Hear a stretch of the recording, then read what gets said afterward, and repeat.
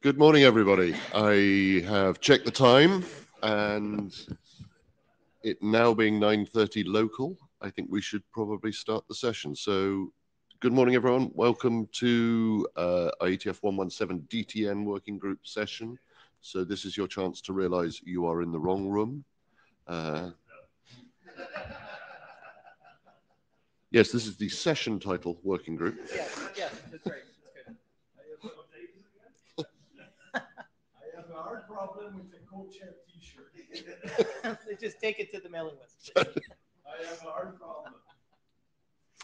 Um, can I? Yeah, there we go. So as with all IETF working groups, this is covered under the note well. I hope by Wednesday of an IETF session, you will have read this at least once. Uh, it is my responsibility as a chair to draw your attention to this, uh, and make sure you understand uh, the content and what it requires of you, and what you can expect in return from uh, the IETF in terms of uh, good behavior, um, ensuring that uh, as a participant you are not feeling harassed or coerced in any way, but equally, you're understanding where you stand in terms of IPR. We will not go through this for ages and ages. Please go and look at the documents if you are at all unsure. Um, And this is the note really well, which is new for this session, which is very much talking about uh, making sure we have a positive environment and that people are not feel feeling harassed or aggressively attacked on their opinions, etc. cetera. Uh, we are blessed to have a member of the Ombuds team uh, in the back of the room, so we will be under strict um, examination. But in general, DTN has not really had these problems, so long may that continue, but the facilities are there if you want it. Equally, uh, meeting tips. So please, uh, in this post-COVID days with Meetecho, please make sure you are signed in using the Meetecho in-person tool. If you are in person, uh, if you are remotely participating, I'm assuming you can hear me through the Meetecho tool. Um, if you're going through some other audio-video system, just for attendance, um, please make sure you sign in through the Meetecho tool. Um, again, we will be operating a queue unified between remote and on-site participants. So if you wish to join the queue, please use the on-site tool to click the Raise Hand button, um, and therefore, it just makes everyone's job a little bit easier. Again, remote participants, uh, please try and keep your mic Uh, muted, and to save a little bit on the bandwidth, uh, we don't really need to see you listening and nodding along. Um, pleasant though it is, it it makes it a little bit distracting for everyone else, so please keep your video off as well, unless you are presenting. Ed? Uh, excuse me. Otherwise, these are these are the links. We're in the middle of the week, so I think that we're all familiar with where to find the agenda and Meetecho and other information. Uh, specifically for DTN, uh, this is uh, our agenda. I wanna walk through it briefly and then just take a moment to see if there's anything that we wanna sort of agenda bash. We want an update of the URI scheme, which Rick had just posted a minor grammatical update just recently. And then we wanna look at the network management work, starting with an architecture by Sarah Heiner and then the data model uh, with Brian Sipos. Uh, following on, uh, Brian Sipos has some updates to the COSE security context, which is currently in working group last call, and then a discussion around eID patterns. And I think we've seen even some mailing list traffic in the past two days related to that. Mark has a Yang model for BP, and then Eric has a discussion of a CLA for BP directly over Ethernet. And then we have two areas that we want to get working group uh, discussion and feedback on. Uh, one of them is an adoption discussion around putting applications over BP, and in particular, HTTP and SMTP. And then lastly, a discussion on how we would allocate allocators in the IPN URI scheme, which was something that had quite a bit of mailing list traffic. I think we can get through all of that in roughly two hours. If we do, we'll have some open mic and, and some wrap up. Uh, before we go on, are there any uh, concerns uh, or questions about the agenda or any agenda bashing? okay. Uh, so then, uh, lastly, we do need someone uh, who will agree uh, to take minutes. Uh, is there someone who would come in and volunteer to to uh, have point on the minutes? Although we do ask that everyone join the shared notepad because the more people we have taking notes, the better notes we will have by the end of the meeting. I know that Adam's online. Adam, can we rely on you for minutes? I I just heard. We're already doing it. Okay.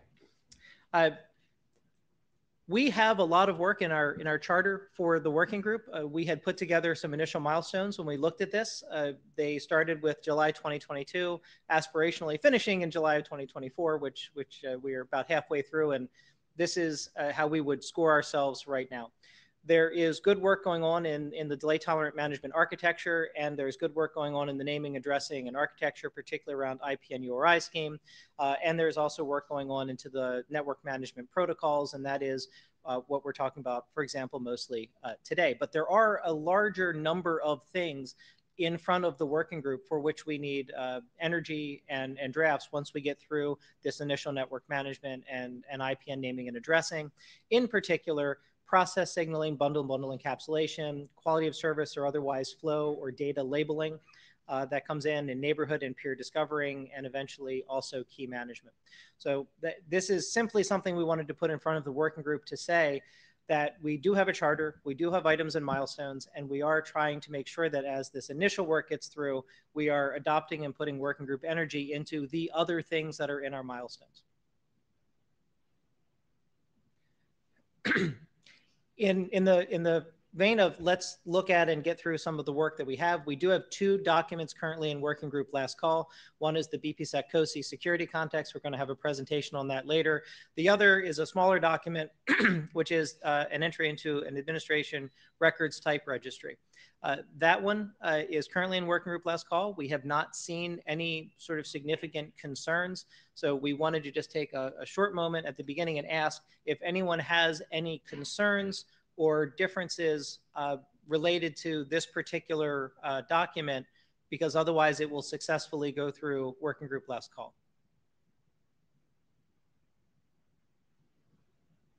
Okay, noted. Uh, and then we will expect coming out of today that things like the IPN URI scheme and the uh, network management architecture would be going into working group last call. So if you have not read those documents, uh, please do, and please catch up on them and prepare for a review of that as we go forward. That's what we have. All right. So our next one is to uh, go to Rick for IPN schema update.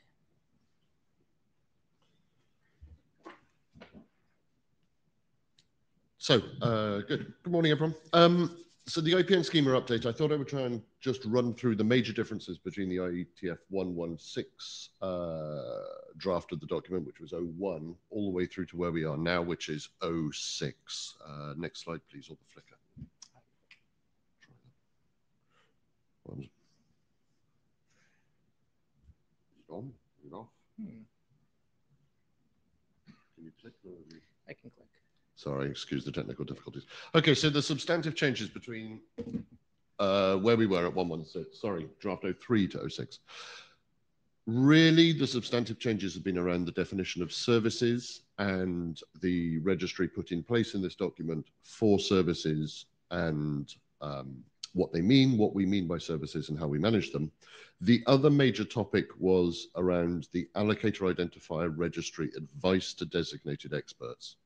So the conversation on the mailing list proceeded uh, well. There was lots of discussion around this to the point where the technical detail advice for the designated experts is pretty clear and non-contentious.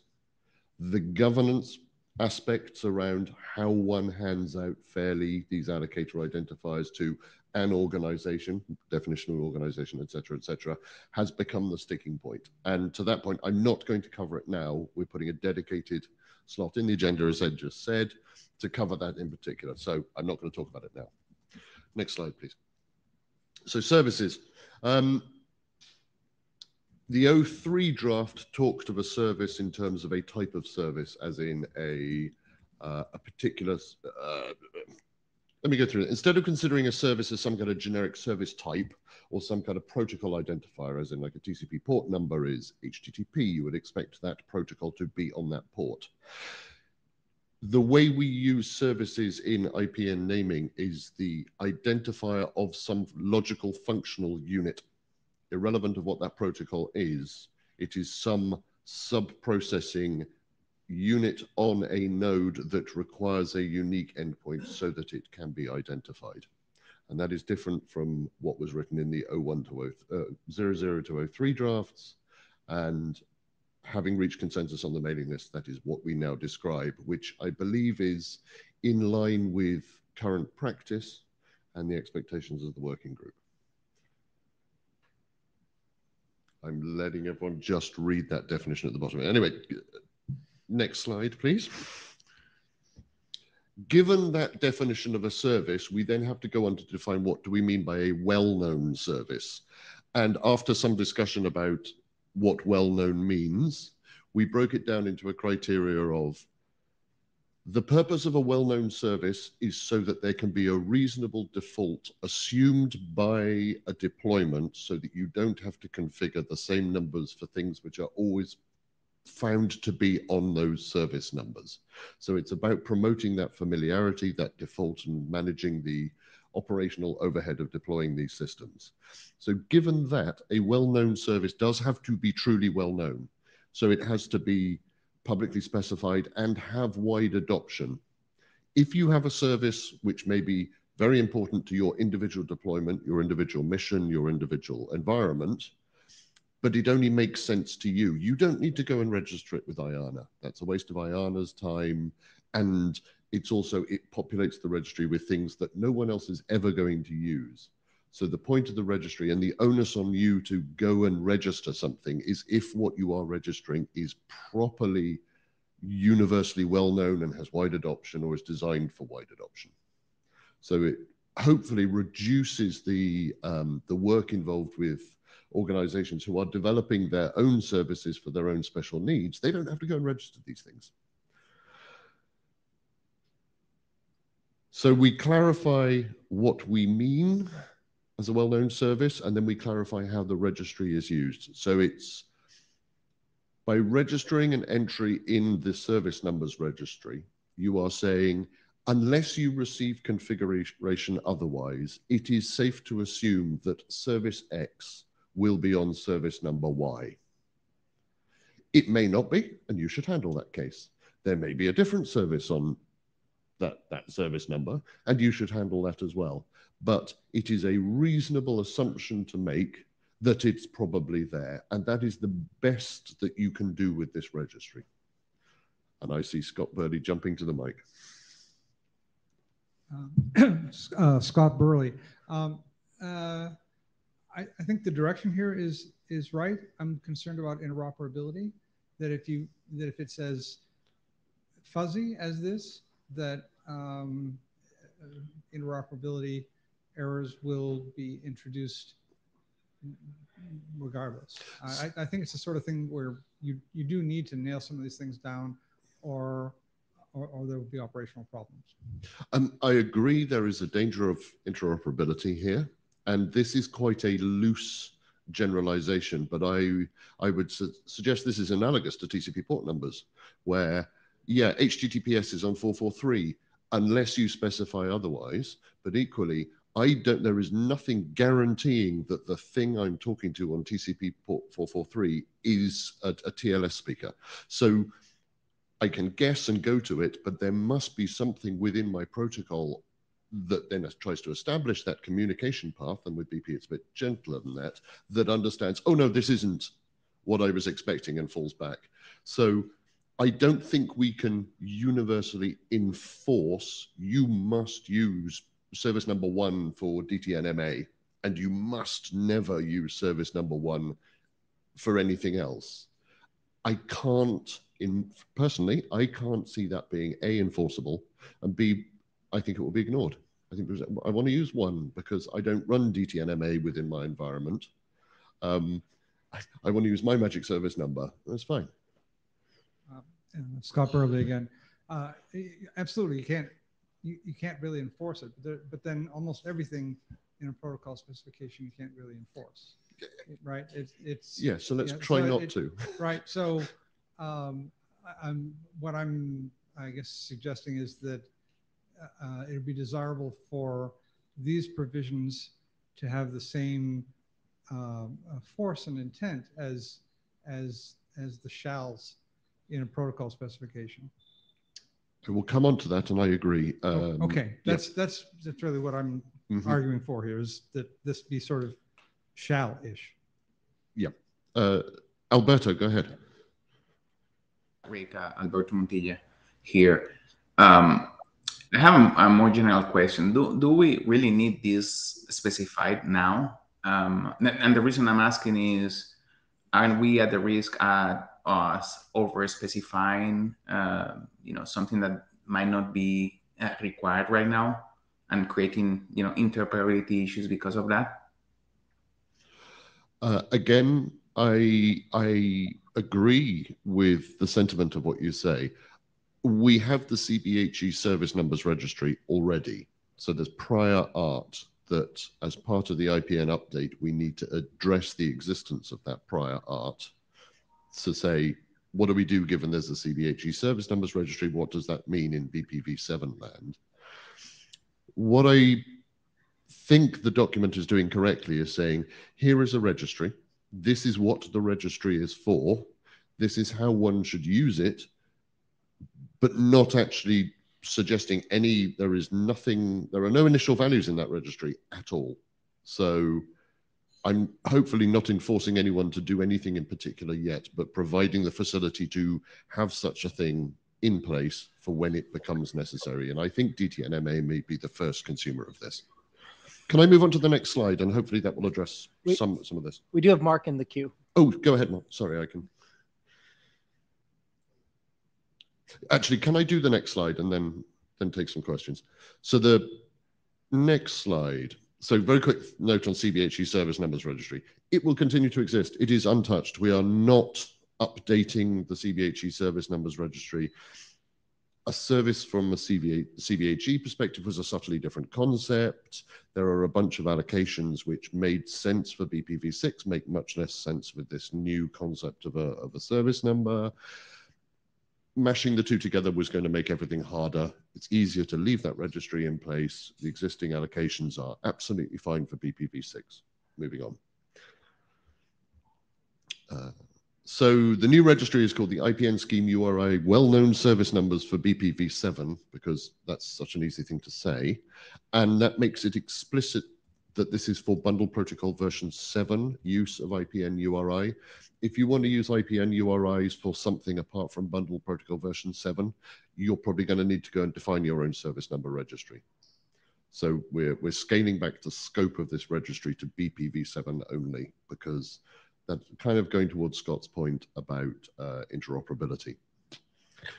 Um, and after much discussion, the policy, the allocation policy on that registry is designed to share the number space evenly between private use so that uh, operators of deployments can go away and use a whole bank of the numbers to their heart's content for their own purposes and various controlled uh, values with various, um, and I'll get onto it, different levels of restriction on how one achieves an allocation.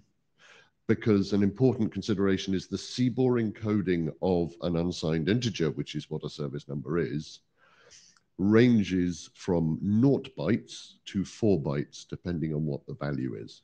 So the very uh, the numbers in the range 1 to 24 are far more desirable if you care about encoding length than the numbers above 2 to the 16 so therefore we can't say make all the big numbers private use and keep all the small numbers for specification required because we are penalizing people who don't want to use the specified services into using poor, uh, poor, um, poor to compress number values.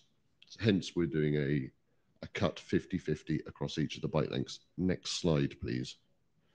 I have tried to diagram this in a different way from the draft to try and express the fact that with CBOR encoding of unsigned integers, you get an encoding length from naught to four bytes, octets, sorry, IETF. Naught is a funny one because the tag, the the uh, the type identifier is actually comes in that first leading byte, giving you four bits. So it's it's kind of a naught extra octet. So what we've said is values 1 to 24, which is the naught byte encoding, they're free to use. They're, they're private use. No one is going to specify any standard protocol there. The one octet encoding, 25 to 127 is still private use. There are systems out there with their own service numbers. We can't get them to, to you know, constantly trample over them or withdraw, withdraw that. But having these short service numbers is, is very useful. And so we're reserving 1 to 8 to 255, so the top half of that one octet encoding for standards action. So that is the harshest and the highest bar of adoption. So that's standards track RFC, not experimental, not IRTF, and it's an IETF is going to hold that space. That's ours. However, for the two byte, two octet encoding length, half of them private use. Great, go that's all there for you. You can have lots of different services. You can do clever things with ephemeral service numbers on demand, etc. But we're going to keep the high half of that two octet encoding to say specification required. And these track back exactly to um, text in, and I can't remember the RFC number now, but the uh, the RFC on how to write IANA specific, um, how to get these wordings right. These 8126. There we go. And specification required means you need to publicly document your specification. It doesn't need to be IETF. It can be any other SDO. Um, and I, I'm not going to quote the text explicitly off my head because I can't remember it. But it is a much lower bar of entry, but it still maintains that open specification, widely adopted criteria we said for putting entries in here. And anything of the three and four octet encoding, free for all. We're never going to specify anything there, private use. I think that's the last slide. Uh, that is the last slide. And we have uh, Mark and then Alberto in the queue.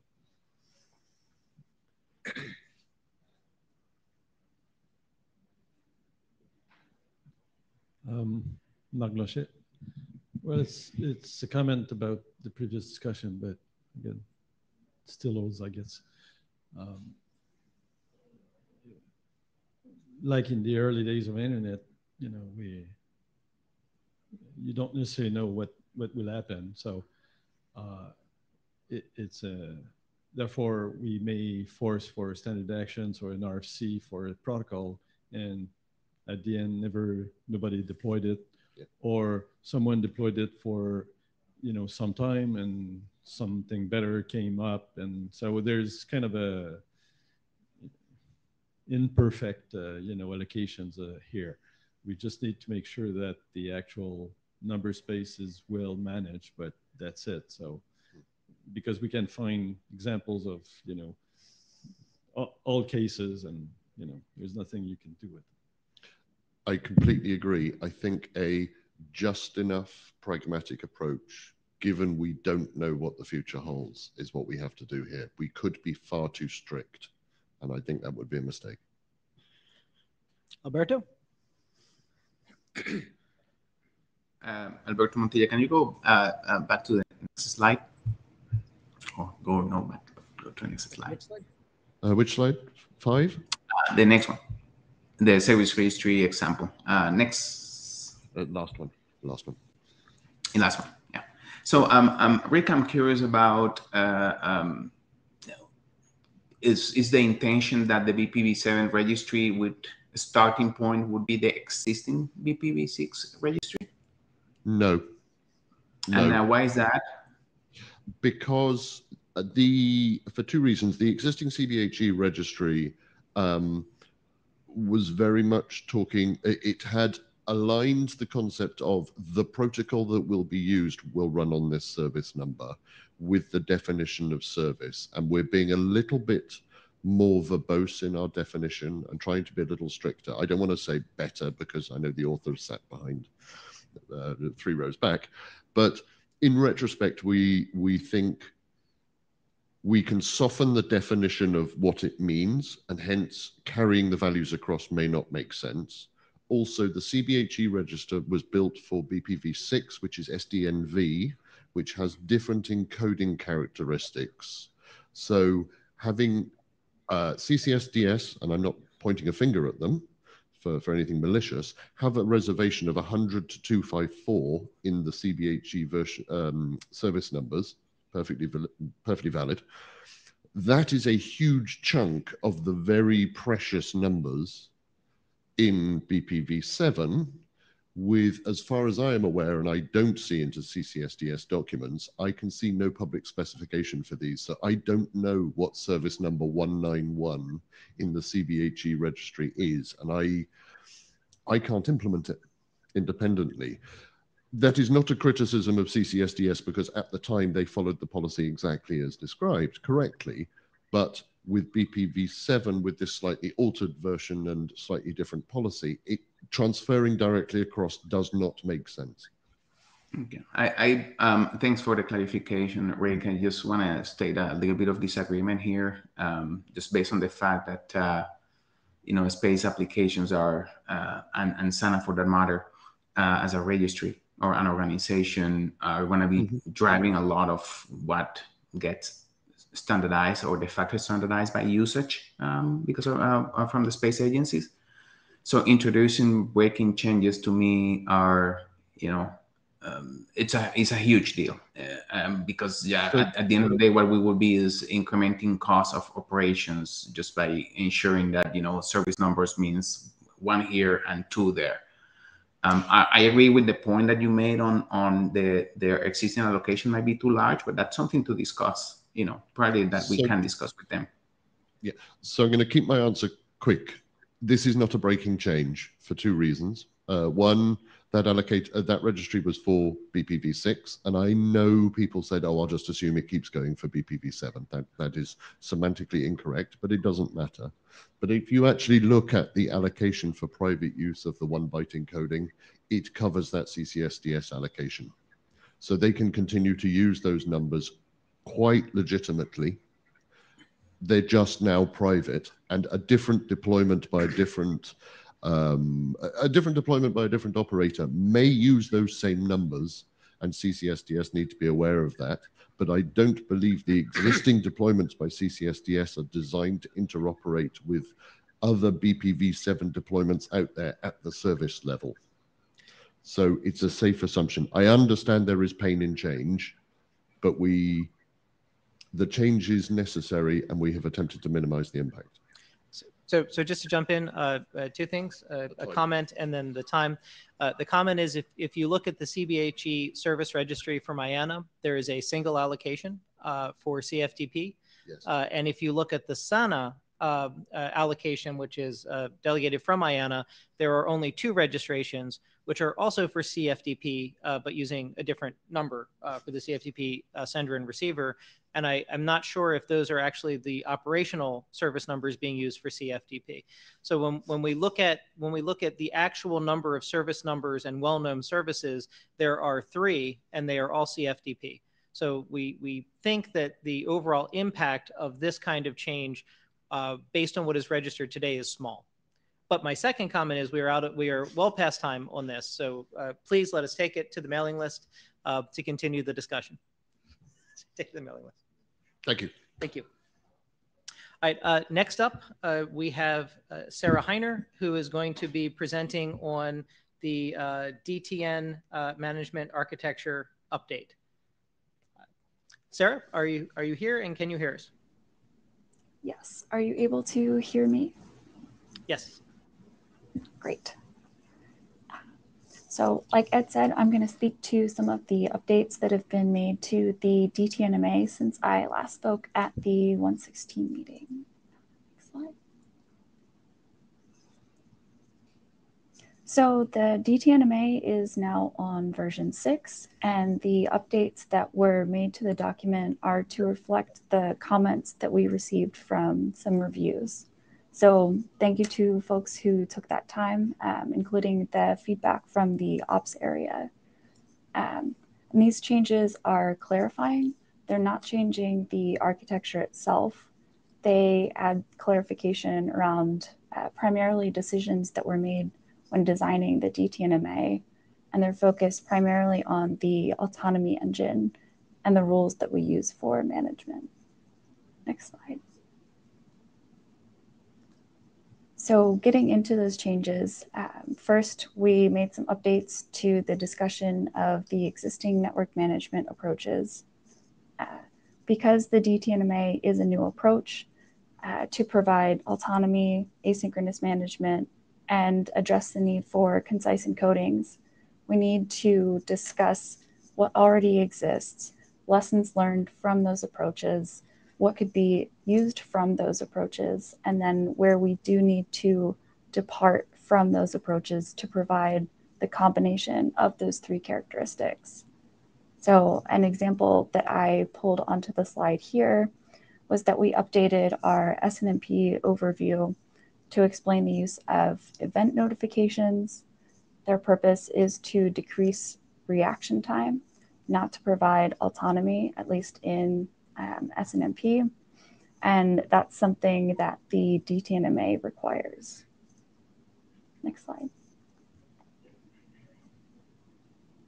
We also made changes to hold the DTNMA to its intent to serve as just a architecture document. So any details that belong in the data and management model have been moved into, um, I believe, the application management model and operational data model, which is documented in the ADM draft that Brian's going to be speaking to next. Next slide.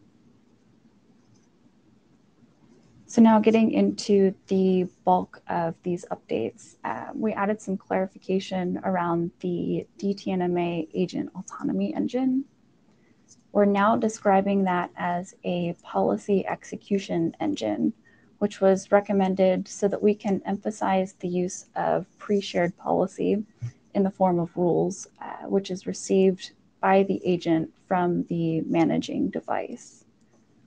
And also address what a manager can configure in that overall autonomy model. So we show the conceptual difference between the manager configuring the local rule database, and then the configuration of the autonomy engine itself. So for example, a manager might be configuring the rule database by defining a new rule, uh, removing a rule, but then can configure the autonomy engine by enabling that rule as a part of the larger set to be executed. Next slide.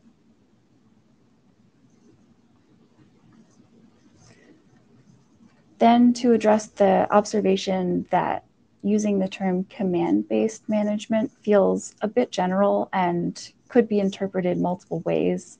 Uh, we're now using the term rule-based management, trying to be more specific here, but the behavior that was defined is still unchanged.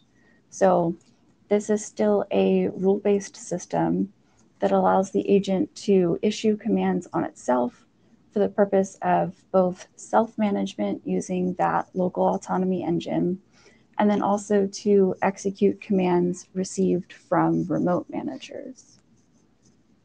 Next slide.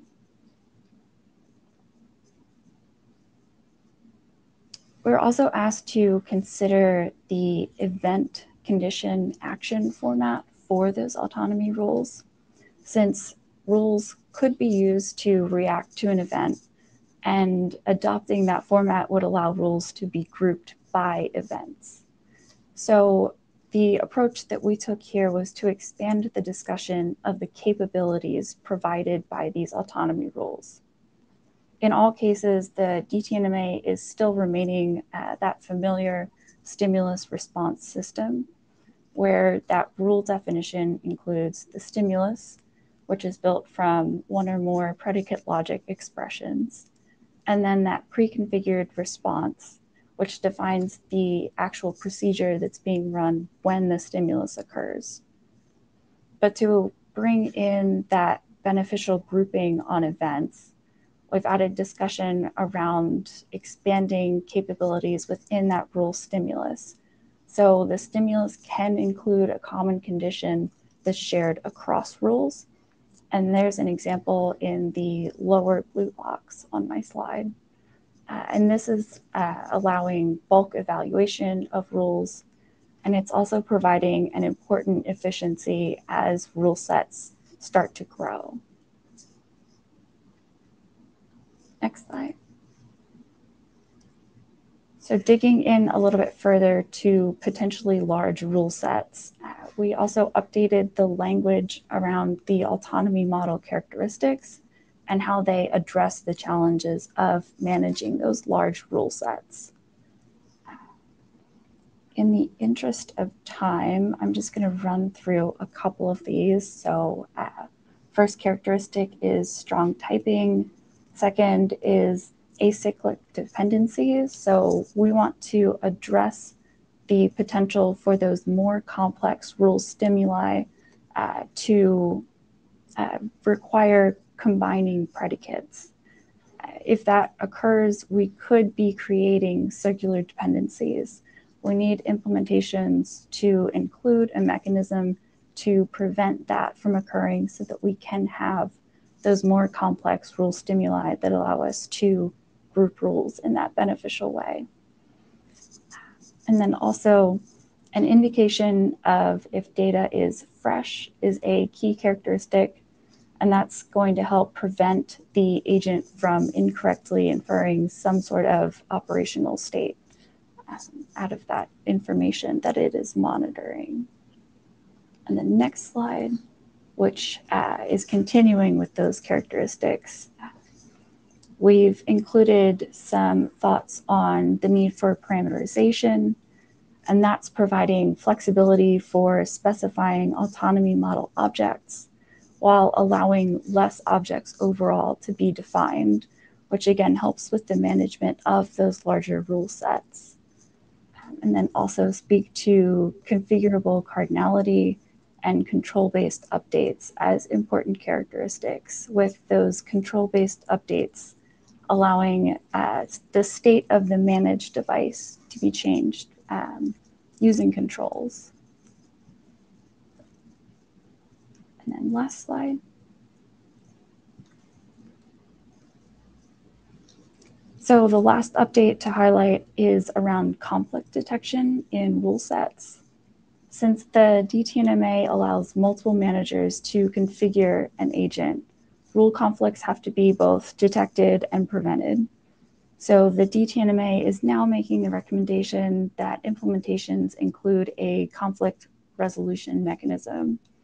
And I've added a couple of the examples that we give, um, a discussion of some of those potential options, like using time or some item in the managed state data to decide uh, which manager input would be selected over another if a conflicting uh, rule set is identified.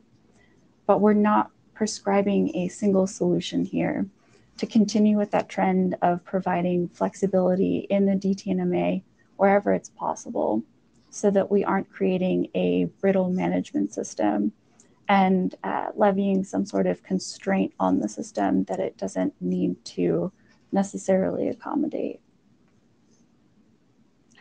So with that, um, just want to thank everyone again for their feedback, taking the time to read through the document um, and then formally request consideration for the DTNMA to move into working group last call. So we, we can we can handle the request for working group last call uh, on the mailing list. Uh, we will we will put that out. Uh, but now, uh, while we are here together, uh, does anyone have any concerns or observations on the work so far?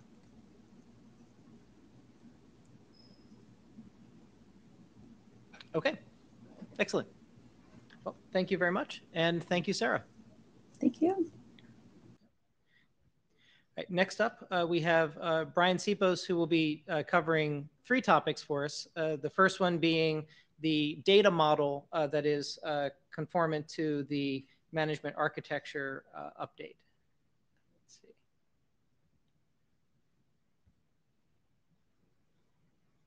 All right. So what I'd like to do is to cover um, all the major topics, give an overview of what's new, what's not new, and then uh, get comments and questions afterwards. So next slide, please. Uh, the uh, earlier drafts of this thing had called this uh, asynchronous management and, and had used some other names um, in between. And some of these names have carried over to implementations. Uh, and what the goal here is to keep as much of what already exists uh, in the same logical form and in some cases in the same um, form to implementations, focusing on keeping stability in the agents. And uh, the overall goal of the whole thing is to enable the, the management architecture of the DTN to be as uh, easy, straightforward to use as existing legacy management systems. So the, the goal of all of these updates and changes is to make it more familiar, uh, more expressive, and overall more difficult to uh, cause disruptions or cause problems in the managed agent. Next slide, please. So one big thing uh, in terms of usability and expressivity on the data model side of things uh, was to do with typing. The earlier uh, ADM typing was uh, quite narrow and specific and didn't allow an individual uh, application to tailor what uh, could be uh, specified in its ADM to its specific needs. And so there was a lot of rigidity and there was a lot of uh, forced narrowing of what you could do. And then what that led to was uh, a fragility of the management tools because if uh, the only thing you can express in a ADM is that it's a say an integer, a 32-bit integer, uh, but in fact there's a lot of restrictions on it or there's other metadata associated with it.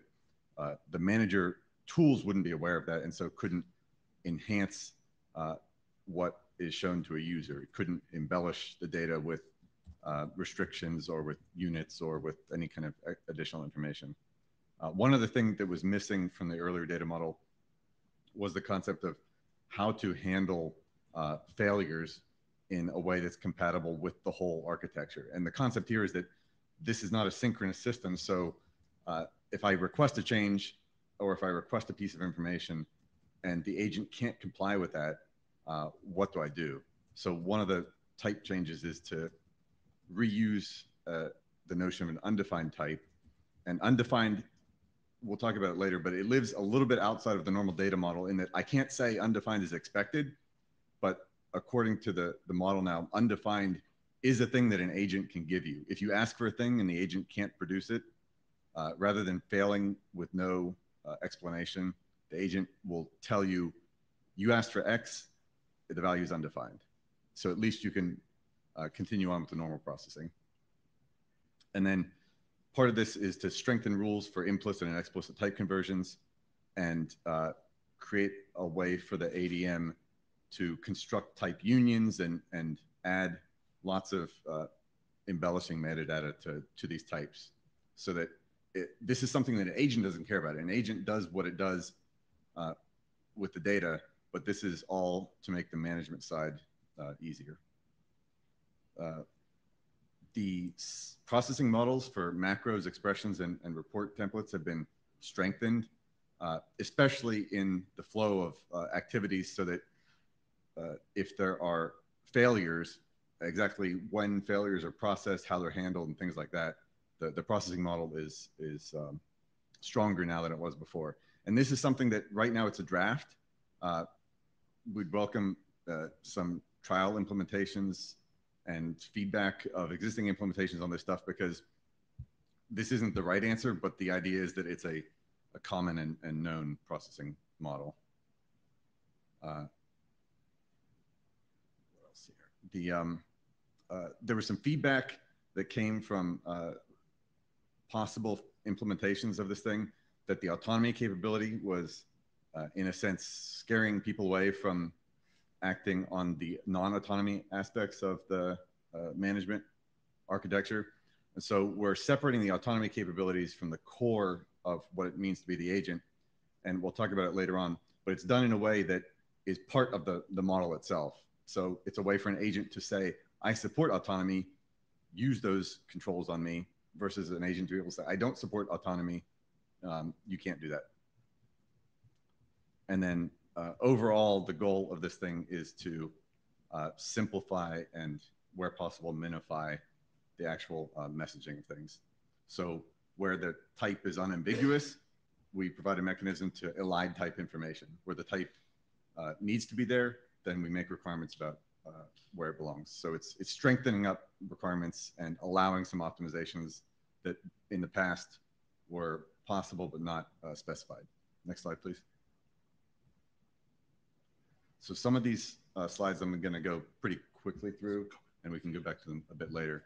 But there were a bunch of types. There were a bunch of because the, the previous type model was very rigid and fixed and hard uh, related to the uh, encoding of the values. There are a bunch of types that are highlighted in yellow here that aren't really types in terms of encoding, but they are types in terms of how you handle the data. And the new model is to separate those two things so that a literal type is about encoding and it's about processing, and a semantic type is about how is that data handled separately so that uh, there can be interrelationships between the two, but uh, they are they're separate concepts. Next slide, please. Uh, I'm not going to go through all of these details on the slide, but the concept is that we're strengthening up the, the type hierarchy and we're using a notion that comes also from uh, Yang data modeling and other systems like that, where we have this notion of a type def. An application can define a type def, and one option of a type def is to define a, a union. So in the past, where there were there were need for some playing around with multiple forms of different operators to do the same kind of thing on different sort of data. Now we can define a numeric type, which is a union of the values that can be numbers, and then we can define operators to say, uh, or or controls that say, this uh, uh, parameter is a numeric type, and we'll explain how the operator or how the control differentiates on what it does on these different things. But the type system can now enforce the fact that numeric doesn't mean anything. It means one of these very specific um, primitive types. And similar things apply to the EDD's controls and uh, other uh, places where the types are used. Is it, it's strengthening up what is allowed to be in this value. And uh, the other thing that's that's supported by eventually we'll talk about the syntax is this notion of an anonymous type. It's it follows the same uh, definition model as Yang does currently, which is if you make a type def, it's great. You can reuse it, you can share it, but sometimes you just need to say this parameter is an integer, but it's got to be between five and, and eight, and an anonymous type lets you do that in a simplified way. Next slide, please. Uh, I talked about this a little bit earlier, the difference between a literal type and a semantic type. Um, there's details on the slide, but the, the basic concept is at the bottom line of each of these things, which is a literal type is something that the agent cares about. It's something that affects data handling. It's something that implementations have to change. So the literal types are something that's tied to implementation. And semantic types are things that a person very much cares about and the manager would do well to care about, but the implementation of the agent doesn't need to really know or care about them. So the agent is going to do what it's going to do, and it's going to have its own logic of a value is supposed to be within a certain range, or this can be text, or this can be uh, a number. Uh, but the the manager is the one that is is um, enforcing this in a general purpose way, so that we're not writing manager plugins for each application data model. The manager handles this data symmetrically across all ADMs. So the manager understands what a numeric range is. The manager understands what a text pattern is, uh, and things like that. Next slide, please. Uh, we talked a little bit uh, about undefined uh, earlier, that uh, it's it's something that slots in with this pretty well because we're talking about using uh, CBOR and CBOR diagnostic notation to represent these things. So we get this basically for free by our encoding method, but we define semantics on this now that explains to an agent when would you use this value and explains to a manager um, when must you handle this value. And then separate from the undefined uh, type and value is, again, because it's CBOR, we're getting this without extra handling cost, uh, a, a null type and a null value to allow us to express things like optionals. And we can get into, I can talk about details in specific ADMs, but the idea here is that some data models genuinely uh, have optional parameters or uh, reports can have optional contents, whereas undefined is supposed to represent more of a failure and off normal situation. A null type that you can union in and say it's a number or it's null. Uh, null is a positive indicator that I'm not giving you a value. It's it's null. I'm not giving you the other thing. Uh, and also, all of these uh, new notions of semantic types and all this stuff, it doesn't impose on any existing data models. It's something that in some cases can enhance or, or embellish what's already there, but none of what we're doing here is going to break somebody's logical data model. Uh, there might be some pointers to existing ADMs to say, well, would you want to use a type union in this place, or would you want to put some units on these numbers that, that are valuable to know, or put range restrictions? But we're not imposing these things on, on authors. Next slide, please. One thing that came up as a, a, an issue in understanding and in implementation of uh, earlier processing is to do with time types. And the earlier handling of time types was related to the type system itself. And so one of the changes here is to separate absolute times from relative times. These are now two completely separate uh, literal types. But in cases where a model would like to handle both of these things, because there are cases where in the past models could accept either absolute time or relative time, the semantic type notion now lets us say for a specific piece of a specific model, this parameter can be a absolute time or a relative time. But what it uh, also allows is for certain places to say, you have to give me an absolute time. I don't, I can't process a relative time. I don't want to look at a relative time. So it allows us, similar to uh, what I was talking about earlier, to, to nail down very specific aspects so that uh, a manager is going to be doing the right thing and can validate things for how an agent is going to handle things. And then the other change related to times is uh, it's shown here in a, a CDDL expression, but we want the ability to have a, a compressible form of uh, narrow uh, precision times. In the past, time was handled with a, a least precision of one second one second is good for some applications, but it's very limiting for other applications. So this says that time is something that uh, can use an existing, the, the, fractional representation is something that's carried over. It was already part of uh, CBOR extended typing, and we're just reusing the same structure. Now, there's also uh, text representations of these things. So part of this enhancement, part of why these are uh, literal types is that as an embellishment on the management side, we want to not have to make people rely on external tools to do conversions between numeric times and um, human-friendly text times. So these are part of the, the literal types so that the tools themselves know what a time is and know how to uh, reference it against a specific epoch. And uh, there's a note at the bottom that the fact that there's now uh, fine grained precision of time means that there's value in having a an agent be able to expose um, its notion of what kind of time precision can it handle.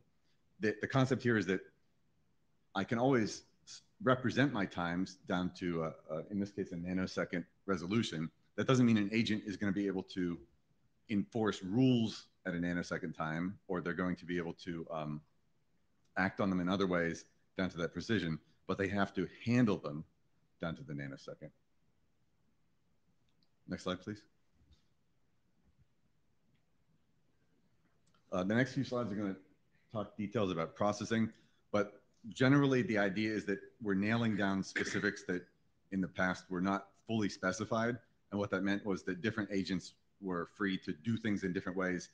Uh, and in a normal situation, that wouldn't make a difference. But this is talking about, uh, say, in a macro execution, if one uh, control or one aspect of the macro fails, how's an agent supposed to handle that? Is it supposed to stop? Is it supposed to continue?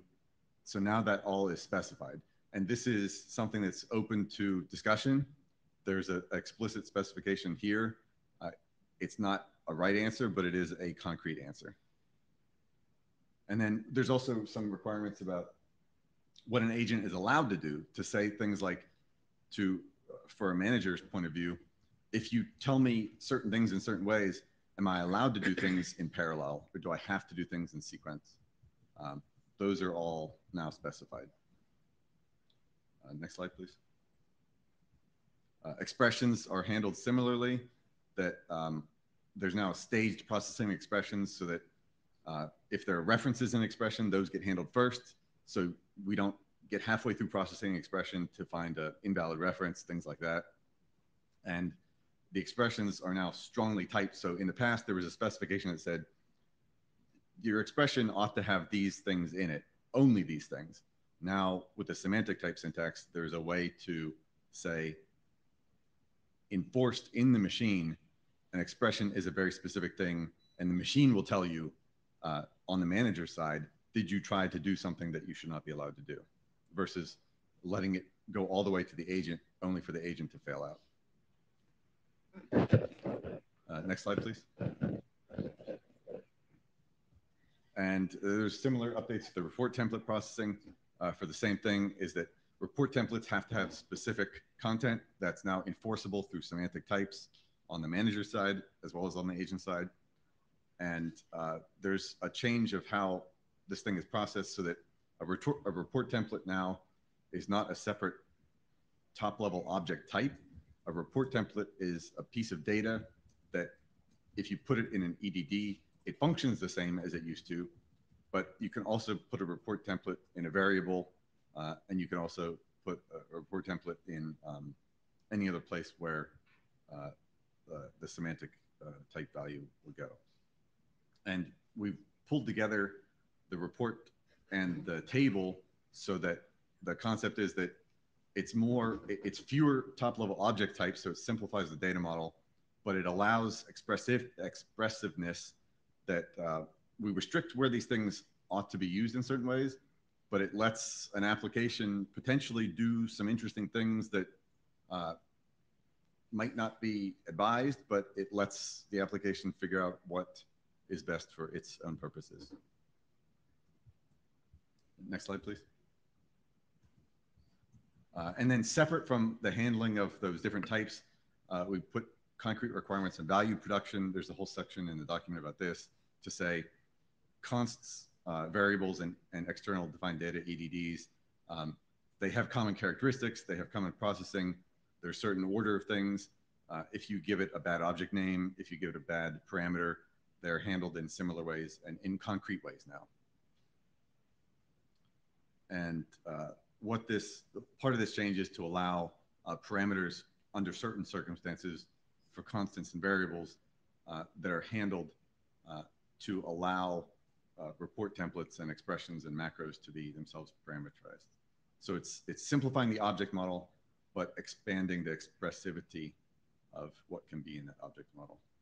Next slide. Uh, I mentioned this a little bit earlier, but separating autonomy from core behavior uh, in the data model itself means that I can implement an agent uh, without autonomy in a way that doesn't have any uh, time-based processing at all. So I can build a completely deterministic uh, agent, a very, very simple agent that doesn't know or care about time per se, but it implements the full notion of what it means to be a DTNMA agent. And uh, I think that's has a lot of power to it because there are certain circumstances where we want to be able to exercise the full autonomy model, but there's other circumstances where in a constrained system, I want to be able to talk to it with a standard protocol, and this gives us the ability to do that without requiring even a, a real notion of a clock on the agent. And things like reports can be produced uh, on a fixed uh, relative timer uh, that has nothing to do with autonomy. Uh, next slide, please. Uh, I'm going to go quickly through these next ones too. That what this allows is, uh, as part of the, the ARI changes, it also allows things to be uh, more uh, condensed in terms of the messaging. Um, we're keeping the concept of messages, message groups, and all this stuff, but it's now reduced to an execution message that goes from manager to agent and a report message that goes from agent to manager. And there's complexity in those messages, but it's it's simplified things down uh, significantly from how it was before. Uh, and reports now, as previously defined, uh, contain a bunch of different information uh, that, serves different purposes, but it's all the same format. And this is similar to what was done with the, the typing system between the, the literal types and semantic types is we want the encoding to be as simple as possible, but we want the applications to allow to use this to do complex things. Next slide, please. Uh, one thing that still needs to have uh, a wider review uh, is that we're now encoding uh, ADMs as a profile of the Yang modeling language. So the way this operates is that we inherit a bunch of really useful behavior from Yang. We inherit the contents of uh, modules and submodules and revision history, uh, prefixes and imports, features for doing conditional uh, implementations, all of the lifecycle things related to status and references, descriptions. Uh, we want to reuse those things. And we want people who's familiar with Yang to be able to understand what's happening here. But then we're prohibiting and replacing other uh, existing Yang behavior in a way that does not change the syntax of Yang. This is all within the letter of the law of a Yang module. So we are not using um, constructs which are specifically associated with netconf. We're not using actions, notifications, and RPCs. We're not using isolated data nodes uh, or the concept of data stores. And because of this, we're saying this is a separate ecosystem of Yang modules. We're using the syntax, but we're never going to import a legacy Yang model into an ADM module, and we're never going to import from an ADM module into a Yang uh, legacy Yang module. So because they're separate ecosystems, then we are not we're not concerned about um, the people who are managing the existing Yang ecosystem uh, do not need to be worried that this is going to start causing conflicts and causing confusions. Um, next slide, please. Uh, as part of inheriting the Yang uh, syntax, we're also talking about inheriting uh, some uh, processing and semantics of Yang of how are uh, modules allowed to be implemented on agents, how are modules allowed to change across revisions, uh, and there's actually some interesting work currently uh, going through in the NetMod group that clarifies and puts versions and compatibility information into Yang modules. And we would love to take advantage of all that stuff. Anything that's to do with the module level processing, we can reuse wholesale and get good benefit out of it. Next slide, please. And then before we go, we, we do have Lou in the queue.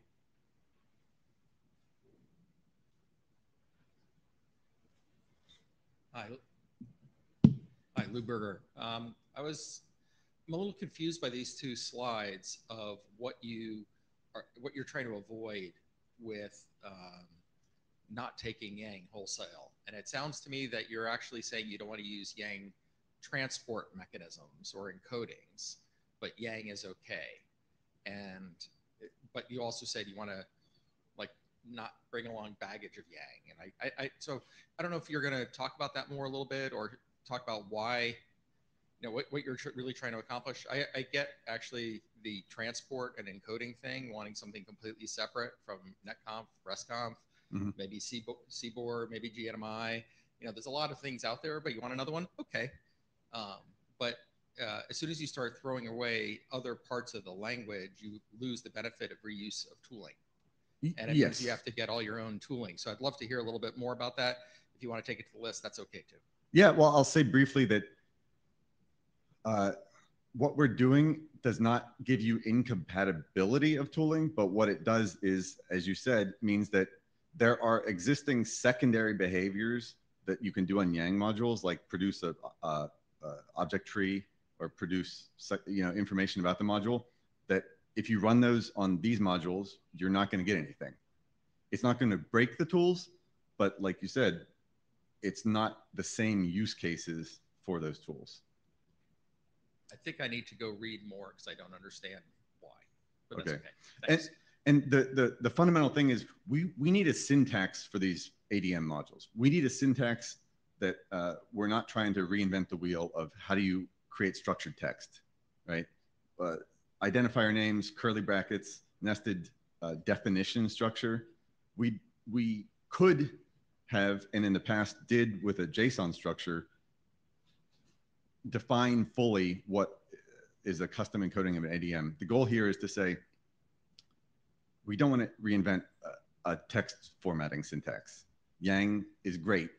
And we don't want to reinvent how to version uh, a module. Yang already defines that and does it well.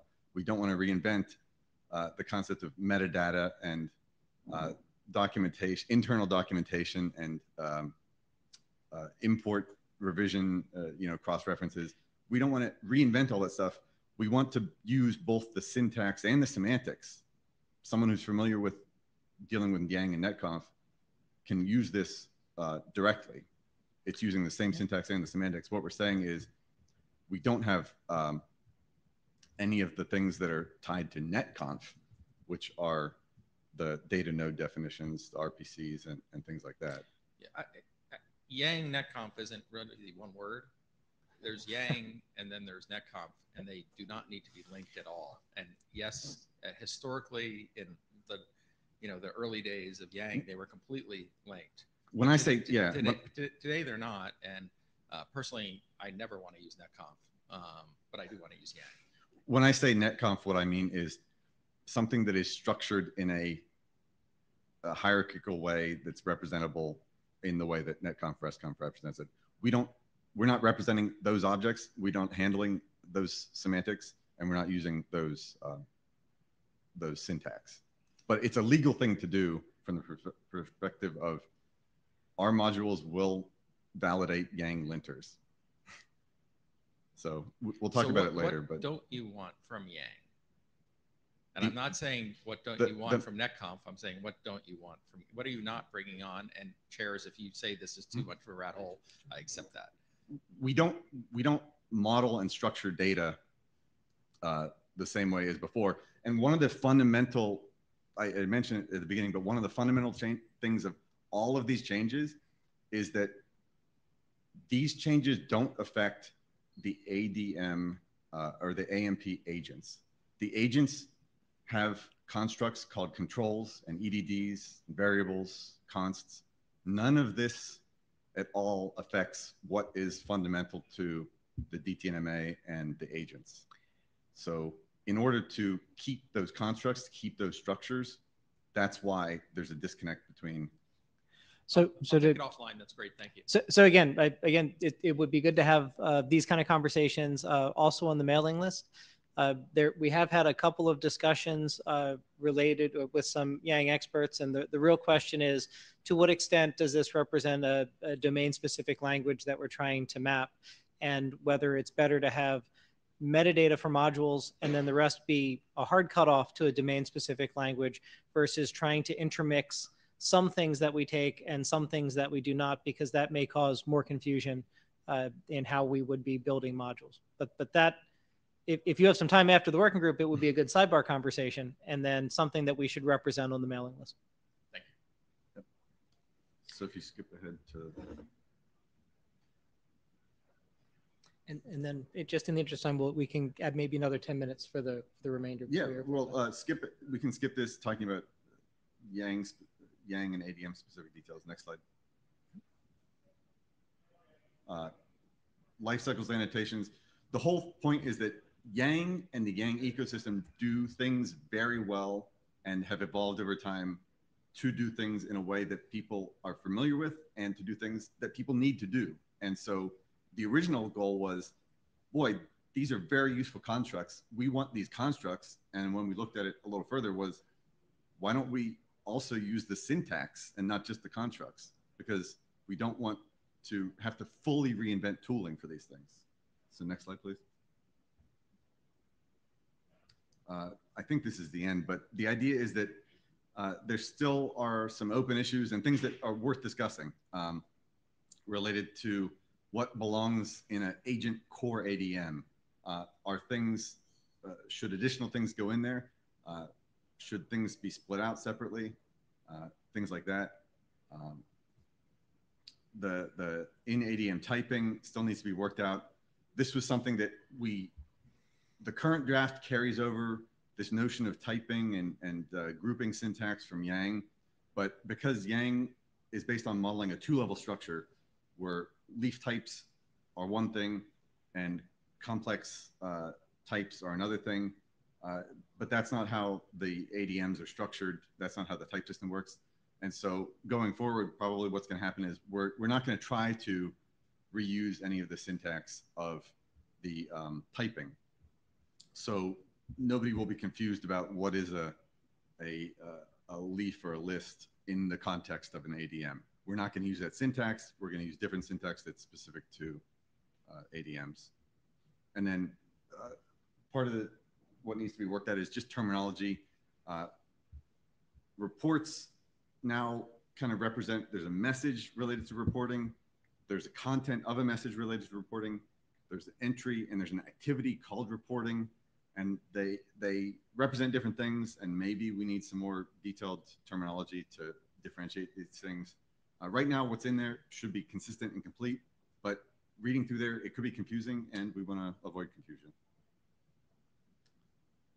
And uh, the one other thing that is, is, not been updated so far is a concrete representation meaning uh, a, a protocol that is actually used between the agent and the manager. It was touched upon earlier and there was there's this notion that it's simple that there are reports that go one way and there's execution that goes the other way, but it's not been written down. Uh, and it, it, it's something that needs to be written down just so that it's a realizable thing.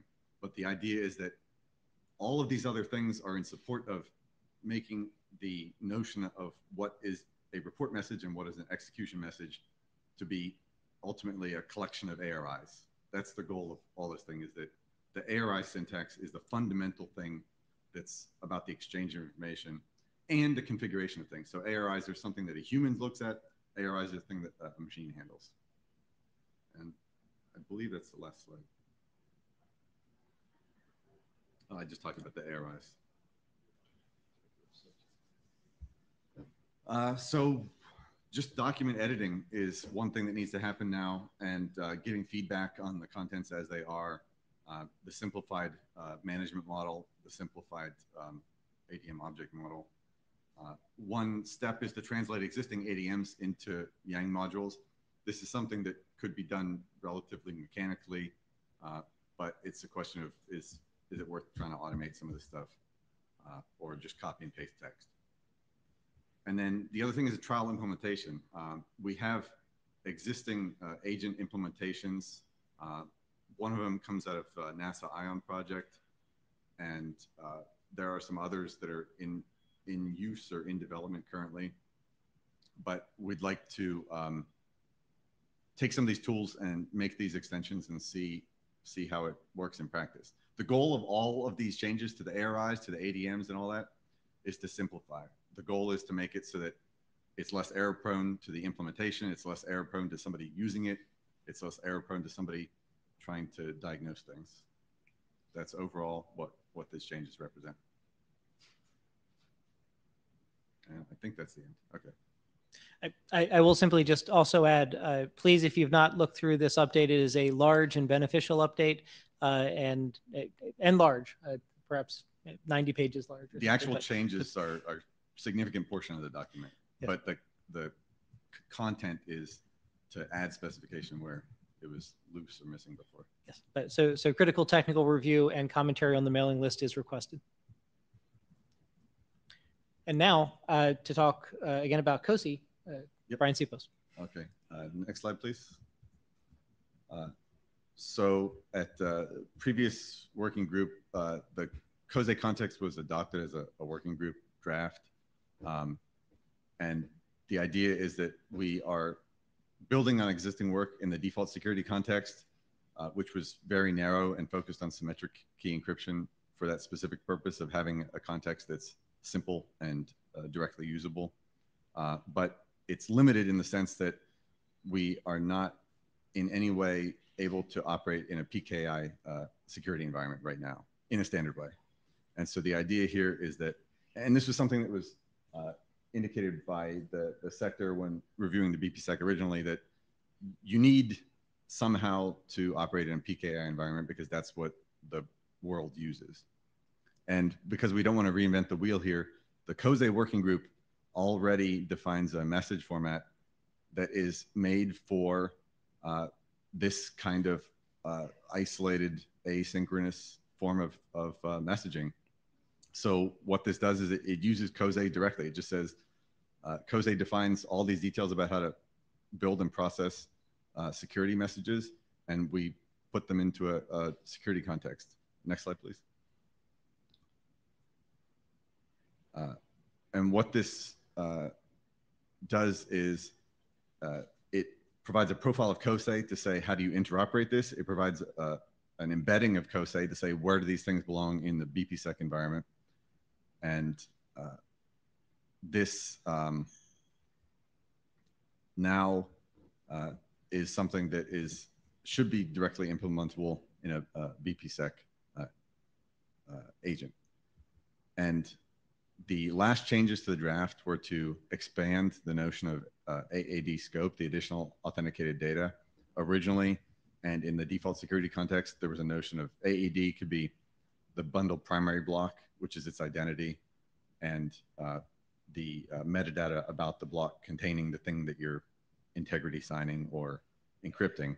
Uh, that's expanded now so that AAD scope can can be uh, any other block in the bundle.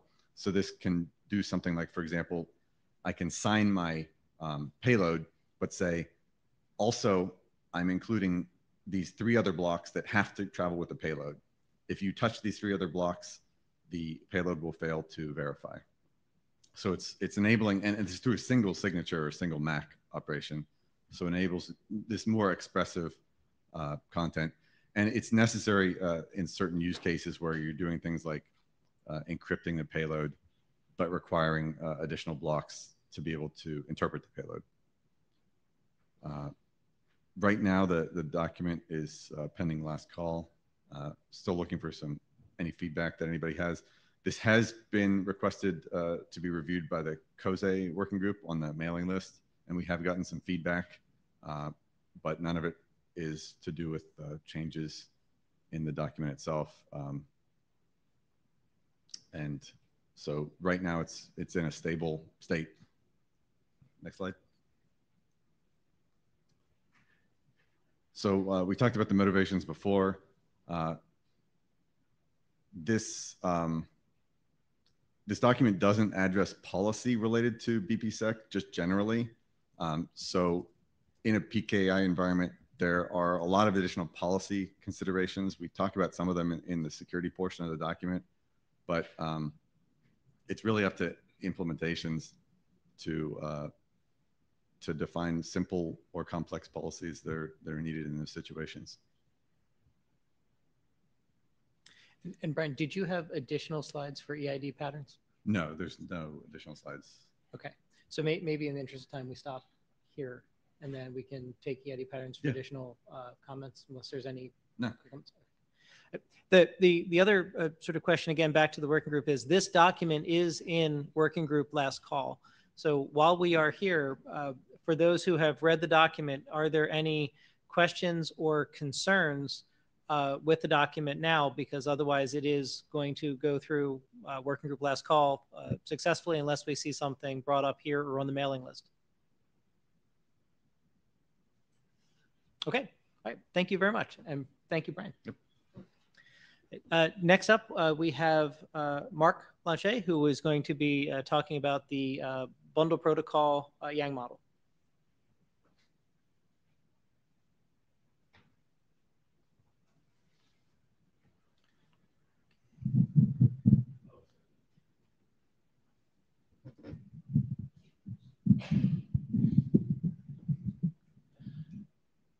Good morning for those local. Um, next slide. Um, the rationale of uh, this work is to uh, be able to manage BP nodes uh, using uh, network management protocols such as NetConf and RESTConf, for example. Uh, use cases are, for example, IP networks uh, are deployed on planetary bodies and moon, for example. You could see the various space agencies architecture documents. Some of those uh, BP nodes will be dual stack, uh, not V4, V6 uh, as we know typically, but instead uh, BP and IP. So they could be managed over IP locally.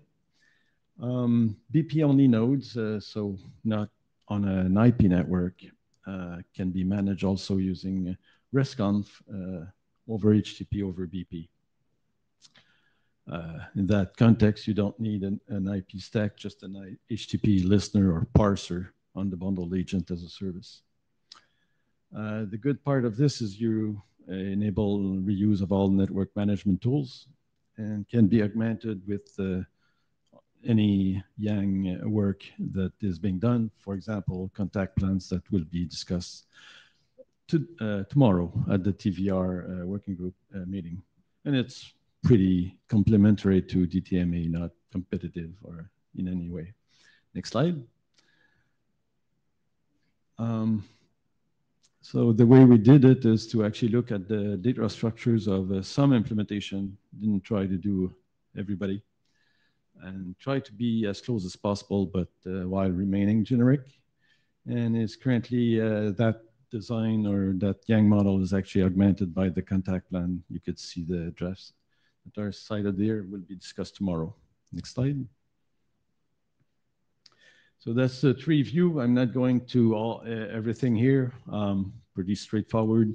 So a node has a version, endpoint identifier, as uh, you know the various uh, um, properties of a bundle node as neighbors, neighbors uh, with their convergence layers, adapters, uh, identifiers, and uh, transport. Um, this is currently not fully complete, but you know, you actually get the structure and will be completed as, as we go. Um, you have read write uh, and read only. Um, read only is mostly querying the current state, and read write is to actually, uh, you know, change the state. Next slide. I think we have on the next one, yeah, the itself, the convergence uh, layer adapters on the, the bundle node itself, and then the storage. Um, and then within the storage, there are bundles. Uh, right now they are read-write, but you know we'll look into uh, comments, but probably not the right thing to do. Um, but that's very easy to change. And um, I think that's about it. Uh, next slide. Um, I got uh, Felix Walter um, uh, as an early reviewer. Um, few considerations, if a node supports V6, uh, BP6 and BP7, should it appear as a single node with two versions or two virtual nodes on one supporting each, uh, each version? Or we don't care about BP6? I was thinking of a single node with multiple versions. Um, it's not currently yet reflected in the draft. Um, comments, please. Um, a neighbor as a single CLA or may have multiple CLAs, uh, currently modeled as, um, as a, uh, so it could be modeled as multiple neighbors or a neighbor with multiple CLAs. Uh, right now, I said that actually was a comment from uh, Felix and modeled with a single neighbor with multiple CLAs. And I think that's the next, the last slide. Next slide. Yeah. So looking for working group adoption and comments. So, so this is Ed with uh, chair hat off. Uh, there had been some additional work on defining managed information for bundle protocol. Uh, I believe Ohio University had published a bundle protocol MIB for BPv6, and I think that there is a um, uh, older uh, BP ADM also probably per, for bundle protocol version six. Uh, so, okay, Ed says there's an ADM for BP6. I've asked Ed, where are those ADM and never get them. oh, I, I can put the link in the chat. But the um, but the question is for maybe for the for the other MIB, uh, did you have a chance? Is there a significant? Uh, is there information in the prior work that is omitted in this work? Uh, I, I don't know. I was looking for that kind of okay. information. So please provide, uh, you know, Sure, sure. I'll, provide I'll links of the, especially the MIB. I, I was looking for that information. But. The, the other is a with chair head on uh, for working group adoption. We will post to the mailing list uh, the the uh, request for adoption. But while we are here, uh, are there any uh, uh, questions, concerns, or comments on adopting a bundle protocol 7 Yang module in the working group? Okay. Thank you, Marc. Uh, next up, uh, we'll have Erik, who will be talking through uh, BP over Ethernet.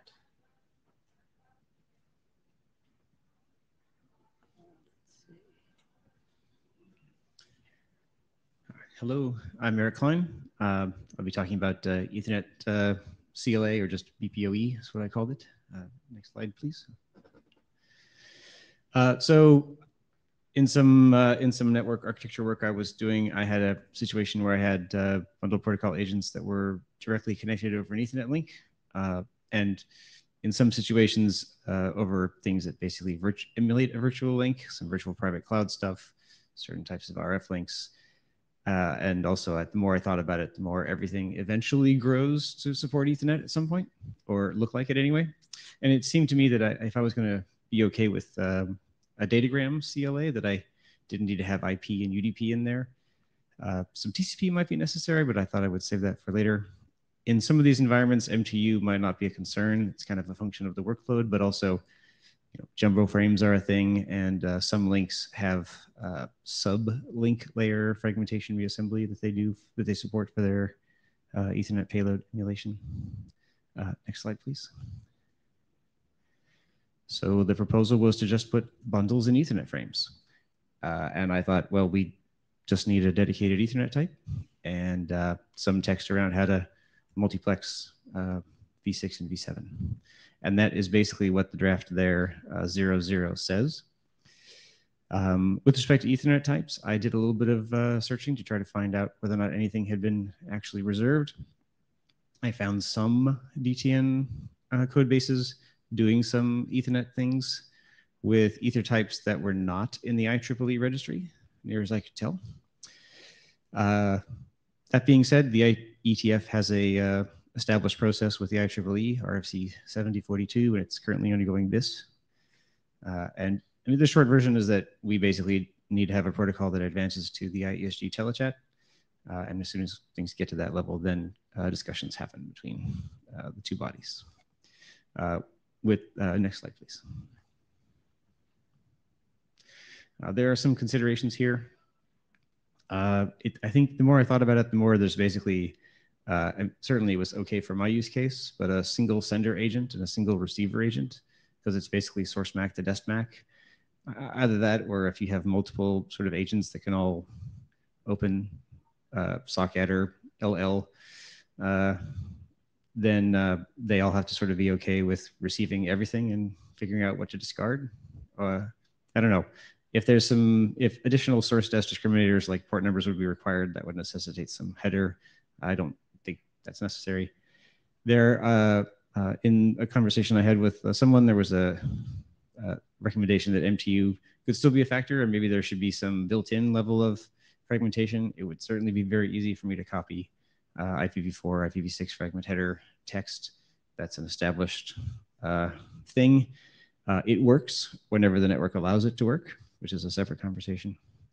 Uh, broadly speaking, uh, you know, a question of like extensibility uh, in general. I know I had some discussions with Brian, and he mentioned that maybe a thing to do would be to pull out the multiplexing text since 7166 uh, was never updated uh, for BPv7. This hasn't really been discussed uh, or in a document that was uh, published. So uh, I think maybe that's a thing that we could do.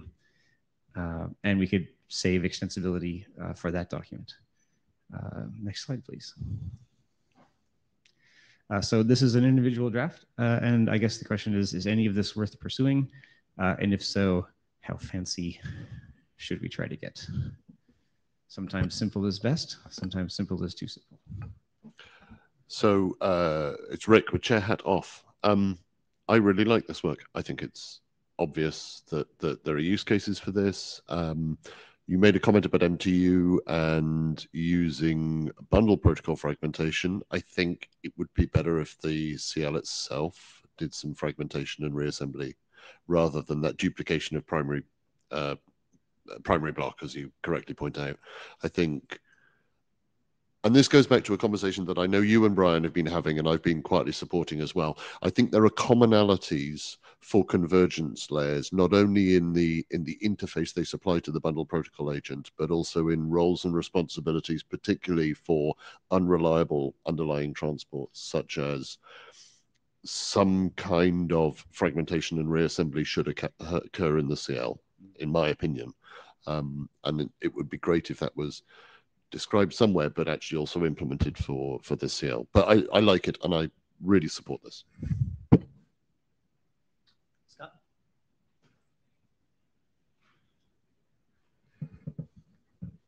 Um, Scott Burleigh. Uh, I, uh, two things. One is I, I, think a long time ago, uh, a prototype uh, implementation for um, an Ethernet uh, convergence layer adapter was developed, and that'd be a thing to look up and see if there's anything useful in it. Um, the other is that uh, I think it could be um, um, it, it, could be helpful to uh, harmonize this work with um, the CCSDS link layer protocol convergence layer adapters because there there may be uh, things that link layer um, CLAs have in common that would be um, good cross checks against one another and um, and possibly inform one another. In particular, I know that there is uh, uh, a um, um segmentation and reassembly functionality in the CCSDS stack. I'm not sure where it, whether it's in packets or in frames, but it but it may very, well be in frames. In which case, it it could be uh, something to harmonize this work with. Is that is that using LTP or is there a separate um, the blue book or green book number? Uh, no, there are separate uh, books for for the CCSDS uh, link layer protocols. Uh, uh, probably the best one to work with would be something called USLP, um, Unified uh, Space Link Protocol. It is, um, and then there's a there, there are CCSDS blue books for that, and and and I think that'd be you know worth being aware of anyway. Okay. So addendum to that chair hat on, Rick Taylor. Um, if somebody was to put forwards a informational document capturing, you know, what's current best practice, what current behavior, I would absolutely support its adoption. I think that that is would fit into the charter. Lou? Lou Berger. Uh, I'd like to explore or understand a little bit more of the use case where this is needed um, you started talking about adding in transport protocol, but you know the the whole purpose of what you're saying is let's get rid of the transport protocol because we don't need it. So it seemed a little circular to me there. And 24, 28 bytes doesn't seem like a whole lot of overhead. Um, so, you know, what's the use case here? Uh, it's not a whole lot of overhead, but you have to manage and allocate the uh, uh, IP addresses on both sides, communicate to, to that to both endpoints. Uh, and uh, the uh, use case was uh, essentially if you just wanted to uh, broadcast some things on a, on an uh, isotropic omnidirectional antenna, just broadcast messages uh, to all receivers as a for use as, as a control plane protocol, or send it point-to-point link over some RFF, some RF links between orbiting things. and if you just if the control plane just needed to say this is the MAC address of the other guy, and not worry about having IP addresses.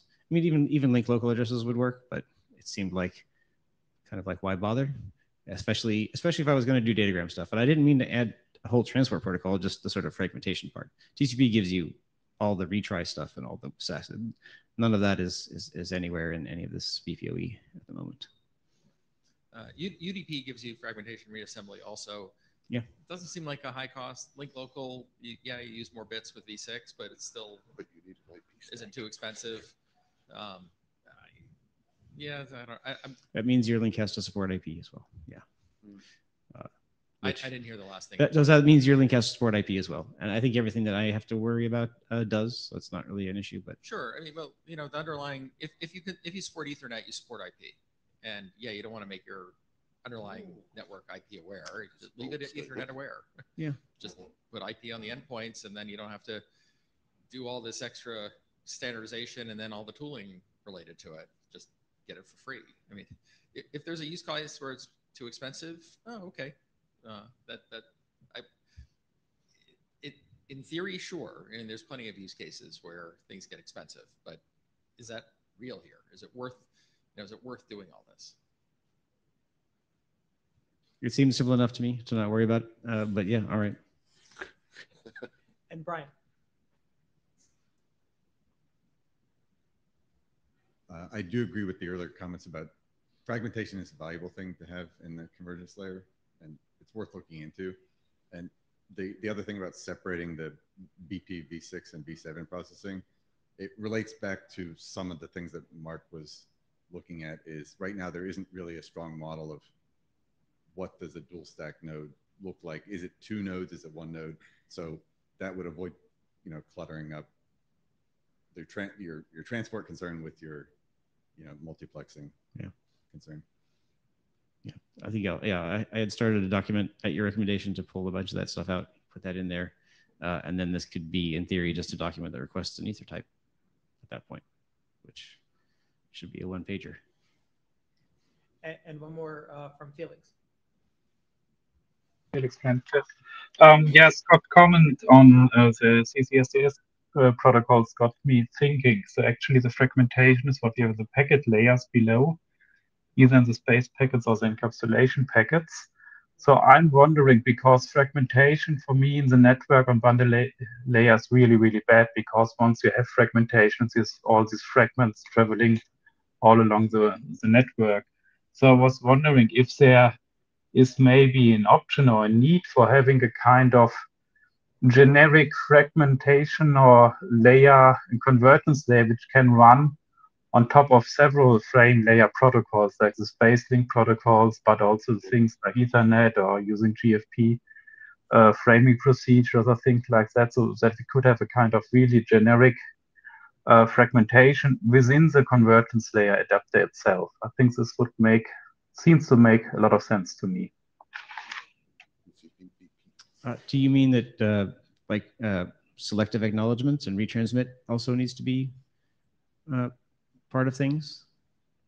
It was started to sound to me like maybe you're trying to get toward LTP. Because it might be covered by things like LTP already. I, I, I missed that. I think the idea was to try and do generic reliability on top of framing CLs, so have a, a stacked thing. We, we do have two more comments. I've, I've locked the queue just in the interest of time because we do have two more topics to get to. But Rick and then Scott. So, Rick, very quickly, uh, chair hat off. Um, one of the reasons, Lou, one of the reasons I support this is with if you're going straight to Ethernet from BP, and this is a bizarre thing to say at the IETF, you don't need an IP stack. That's less code. That's less you have to validate. You can go straight from BP to Ethernet and, and back up again.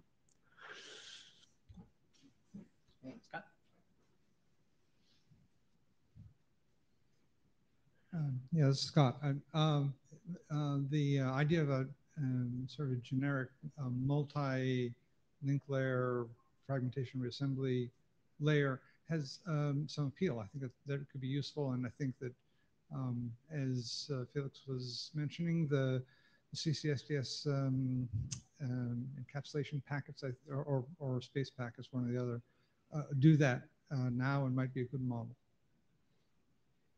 If somebody has a, a CCSDS uh, red book, blue book, green book, whatever number, that would be great. Thank you. Thank you so much. Okay, so uh, for our final two topics, uh, these were more uh, working group uh, discussion topics. One of them is uh, going over, let's see, where is it? Uh, applications over BP, and then the other one is a, a governance discussion around allocator IDs. So for for this one, uh, we have a, a single slide that we wanted to talk through. Uh, we have two uh, independent uh, drafts that have come up on how to place application traffic over bundle, one for SMTP, uh, the other for HTTP. Uh, these talk about how you can construct a payload so that a payload uh, that endpoints would be able to operate in a delayed or disrupted environment uh, in which the payload would then be presumed to be carried over bundle protocol but otherwise it is a construction of a payload to be carried over bundle protocol. Uh, there are working implementations uh, to demonstrate that that the approach uh, exists, and then there was a mailing list uh, adoption call to say whether we would, as a working group, adopt uh, each of these drafts and publish them within the the DTNWG. Uh, there was support for the drafts because finding a way to use both mail and HTTP traffic in a delayed and disrupted environment is a is a useful thing, and we would like Bundle to be used more. Uh, and in particular, uh, there's a lot of support for anything that allows us to have more application traffic running over bundles. There was a question on uh, whether this falls within the scope of the DTN working group uh, because it is not specific to bundle or transport. It is the creation of payloads to be uh, sent over a transport. And then there were additional questions as to whether uh, the technical approach was sort of the the favored approach because it doesn't um, pull data out of the payload and put it into extension blocks or otherwise use elements of the bundle protocol itself. Uh, so in that, through through a variety of discussions, uh, two things came up. Uh, one was there's probably value in an informational document that says if you are writing applications to send in a delayed or disrupted environment or generally a bundle protocol environment, these are things you should worry about and things that you should do in your application layer. Uh, and separately, here are approaches uh, that could be used for things like mail and HTTP. So in this section, uh, my hope is that we could have a, a discussion uh, or at the very least some questions uh, to the working group, either online or, or at the mic. The first one is, uh, is there interest and support in an informational document that would describe application layer concerns when writing and using and transporting over bundles in a delayed or disrupted environment.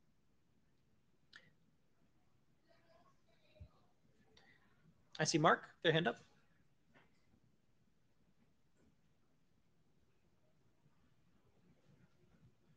Uh, Naglashet, troublemaker. or trying to have applications on bundle. Um, applications configuration informational document.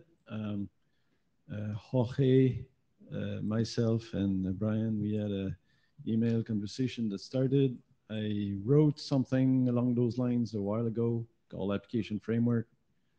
Um, so I do agree we should have someone something about that. I could start one with my uh, if Jorge still, you know, have some time, it seems that it's uh, uh, more difficult nowadays with his new position. But anyway, uh, yeah, I agree. We should have something about that. Uh, is that prior, during, or after the other two? Is an interesting question.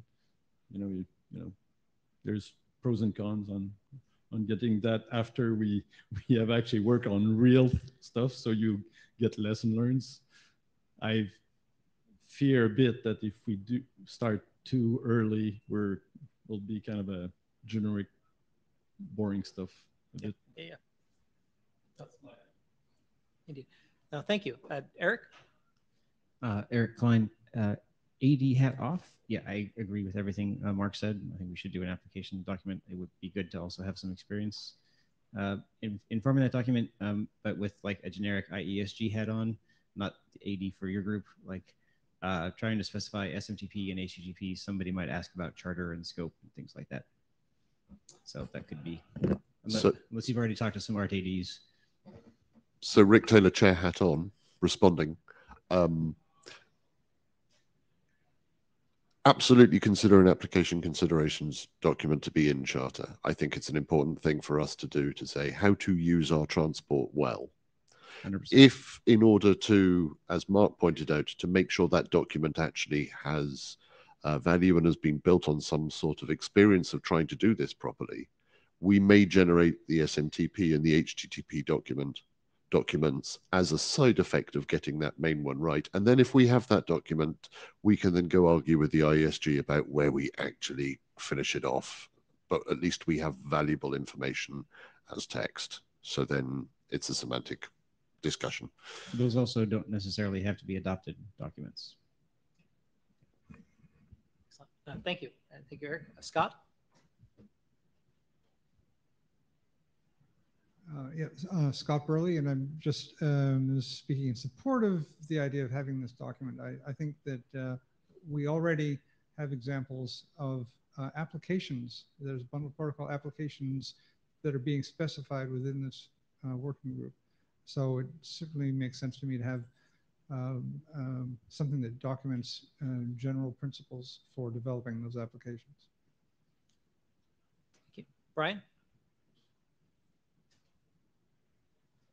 Uh, I agree with the previous statements and also uh, related to specifically the HTTP and the email transport. Uh, doing things in BP means that there's the possibility of using extension blocks and combining that with BPSec and solving problems in a much cleaner way than in the past. Some of the other groups have tried to deal with partial header security in HTTP or uh, different combinations of SMIME in, in an email world. But without relying on that baggage, being able to do things with, with BPSec uh, in clean and, and ways that are not necessarily limited to these two applications. Thank you, Brian. Alberto?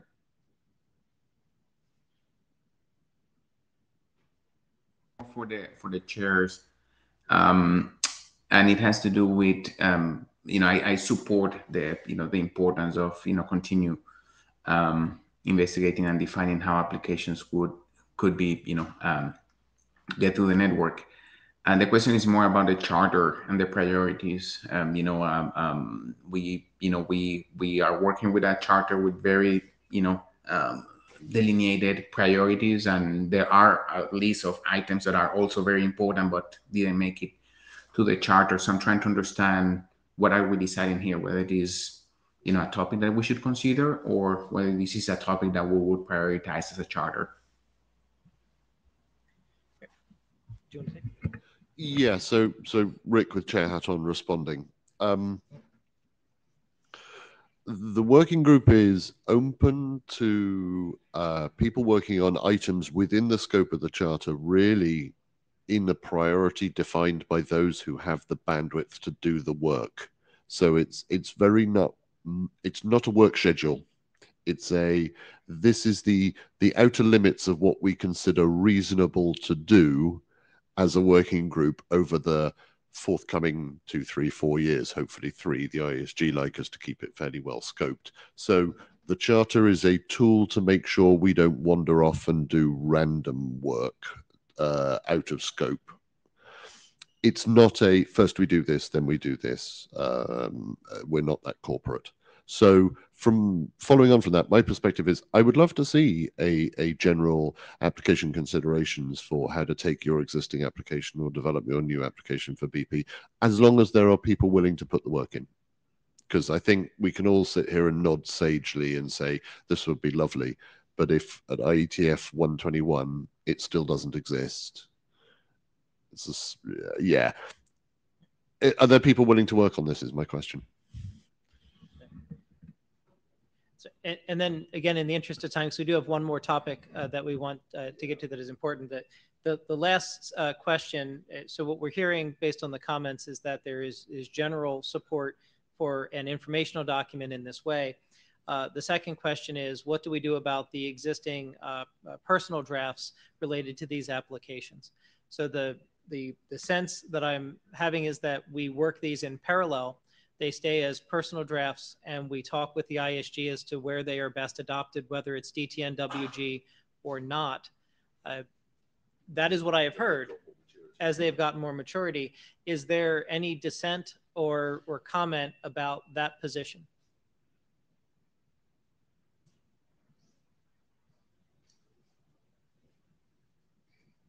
Okay, all right. Our, our last topic is going back to uh, the IPN URI. Oh, We- Stephen has jumped into the queue at the last possible minute. Luckily, we're delay tolerant.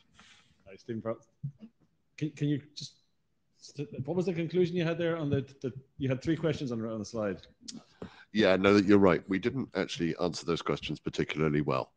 The rough consensus we heard from the room, based on that discussion, was there was support for a generic document for application considerations, Sure. but no one arguing for adoption for either of the two SMTP or HTTP personal drafts. But no one was saying these are wildly out of scope right now. So I would suggest that Marc continued to refresh them and align them as the application considerations document proceeded Right. and come back with an adoption request Okay. So at a later date. Okay, so then I so my comment is um, I think the I think it seems entirely reasonable that the DTN working group consider things like uh, interpersonal messaging in networks where there's a big disruption or delay. Yes. Yeah. Um, so I, I, you know, I think the scoping issue would land in this working group as opposed to doing something elsewhere. Um, and I don't know where it fits in terms of any of these documents, but I think before the working group spends effort on, let's say, the SMTP or HTTP things, I somebody really needs to go and find out what are the requirements for messaging in some lunar scenario or mission scenario or whatever, because they may or may not require something like tunneling SMTP, or they might require, you know, synchronizing message stores as we did years ago. So I think that kind of figuring out requirement stuff is would be important before the working group spends time on different kinds of integrations with applications. Agreed. Yeah, Uh, Pete? agreed. Yeah, Pete Resnick. So looking at the SMTP document, for instance, keep in mind that at least for that one, it's not really SMTP. It's a gatewaying protocol for doing email that happens to come from SMTP over BP to something else that's doing SMTP. So it's not as if you are, or Marc is, creating a, a, you know some extension to SMTP that really needs loads of applications area review. It's reusing a little gatewaying protocol that's in an informational document of the ancient times um, and bringing it to this. So it would be plausible that that would be a specific DTN working group item as opposed to something that's over in the applications area. Um, if, as Stephen says, it's actually needed for something. Uh, Thank you. Uh, And, and also there are some comments in, in the chat uh, related to that as well. But, but in the interest of time in, in our remaining seven minutes, uh, I do want to spend a little time on uh, the governance uh, discussion. Uh, For those who have been uh, working or tracking the IPN URI updates, uh, one of the large updates, structural updates, was the idea of taking the 64-bit node number space and uh, sort of segmenting it into an upper 32 bits of an allocator identifier and a lower 32 bits of node numbers with the idea that allocator and node number together are a uniquely uniquely identify a node with the example of having IPN colon 7.3.1 being a, a, a full IPN URI as opposed to IPN you know, 3.1. Um, in that, uh, if we accept the idea of allocators uh, and that we use those allocators as a way of segmenting uh, the management space of, of node numbers, then we need a registry of who allocators are so that we can identify them. And a question has been come up, a significant question on the mailing list of what does it mean to manage a registry of allocators in this space? Uh, right now, uh, the plan A uh, for how this is done is that a allocator ID registry would be created. Uh, IANA would manage that registry. The uh, registry would be expert review. Uh, of course, uh, with uh, IETF policies, if we needed appeal, if an expert said no to something, there would be an appeal to IESG, and that is the default management position with the idea that individual allocator IDs could be given out to individual organizations uh, or ranges of allocator IDs could be given out to either traditional or emerging registrars who could then parcel them out as they see fit, which is a, a way that we do this with other things like, for example, IPv6 uh, addresses. Uh, alternatively, uh, there is a management approach where we remove expert review and we request that IESG directly manage uh, this uh, allocator ID space, perhaps with the IESG coming back to experts if they have a particular question. But in all cases, the allocator ID ranges exist in an IANA registry that manages them and gives them out in this particular way. In that, uh, clearly the registry concern is this sort of first order who gets individual registry IDs. And there are two significant questions that have come up. One is how do we make sure that these small encodings, because we don't have very many of those, uh, are given out in a, in a pragmatic manner? And just generally speaking, how do we make sure that the allocation of these ranges are uh, according to a fair and transparent process, that we are avoiding land grabs, that we uh, allow new players in emerging spaces, particularly for space spaces, to, to have an even playing field, avoiding bias, apply rules consistently, and so on and so forth. So the question that we have to the working group is, is there a significant concern that expert review of the allocator ID registry uh, would be problematic? So can expert review meet the criteria of transparent and fair process, avoiding land grabs, allowing new players, and so on? Uh, or do we need to do something different? We are working to get uh, scheduling with the IESG in, in mid-August. We are putting a request to hold uh, new node number registries in the CBHE node number registry until we sort of understand uh, these policies and how the registries will be updated by the IPN URI update. But the, the question to the working group here is, are there specific concerns about whether or not expert review can meet these criteria?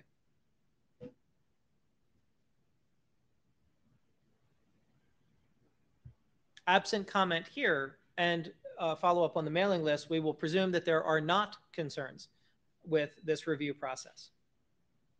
And, and, uh, and as mentioned in the, in the chat that the IESG does appoint the designated experts. I see Scott Burleigh in the queue.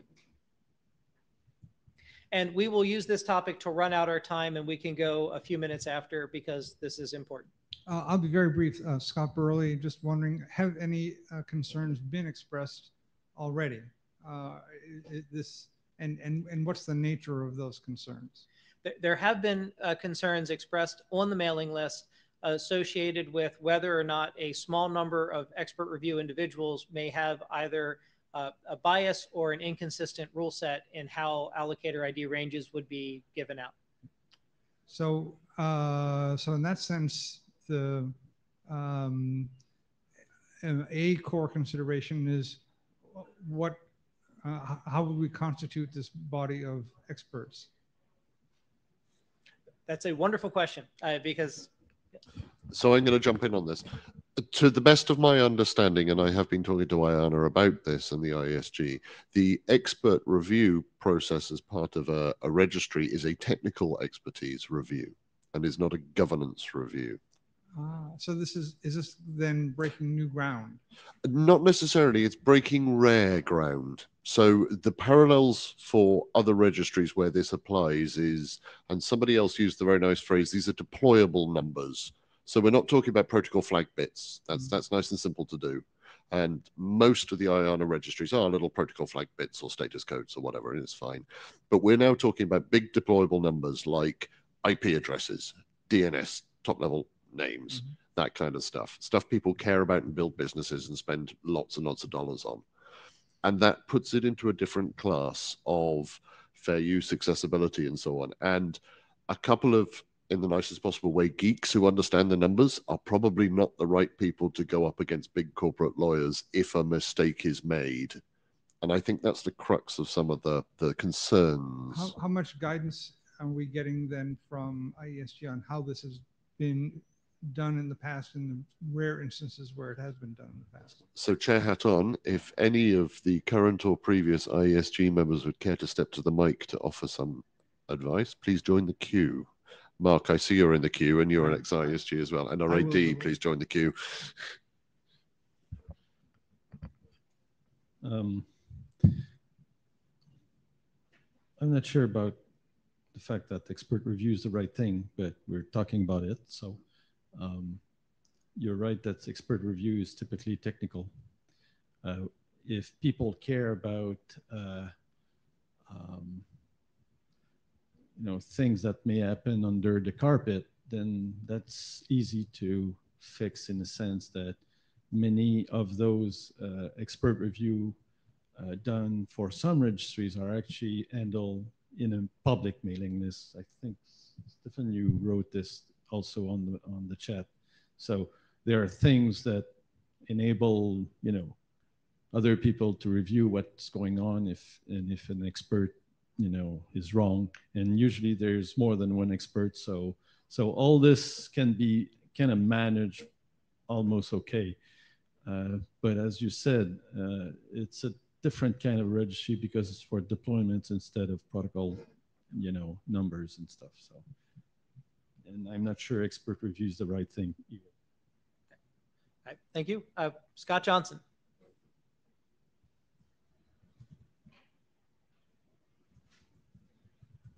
Nice to see you both. Um, can you hear me? Yes. Okay. Um, my concern with expert review here is that this places a, a significant amount of power uh, in the hands of just a couple individuals. Um, personally, those individuals would re- need to receive significant guidance uh, from somewhere in order to perform that uh, that function correctly. And I think probably we would, be, we would be better off with hierarchical um, allocation here, which sets it up so that both the default registry remains and is operated by IANA, uh, but as well, we uh, allow the community based, uh, stakeholder centric um, governance models that the things like the RIR system uh, have allowed, as well as uh, any potential new RIRs that may be added to that. Um, to that system to handle situations where uh, space law has not yet been written and jurisdictional terrestrial law is not appropriate.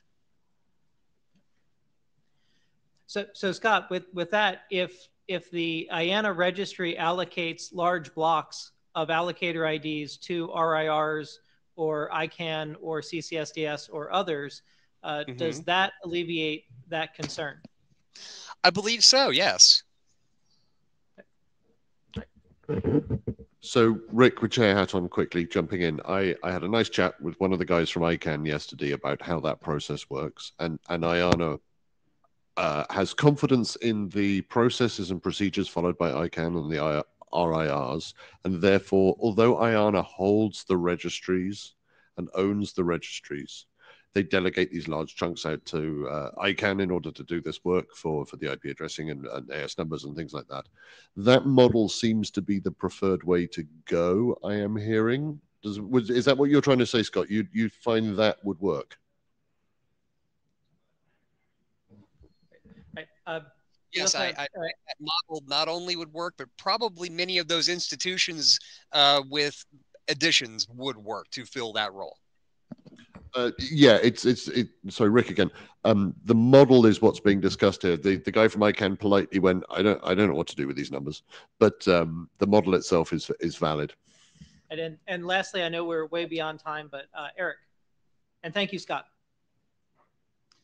Uh, yeah, sorry about running over time. I just wanted to say there there are several things here, uh, uh, analogs. You can um, uh, one maybe important thing to say up front is that uh, we, if we write a document that says IANA, please use expert review, we can shortly thereafter write another document that says IANA, we've changed our mind.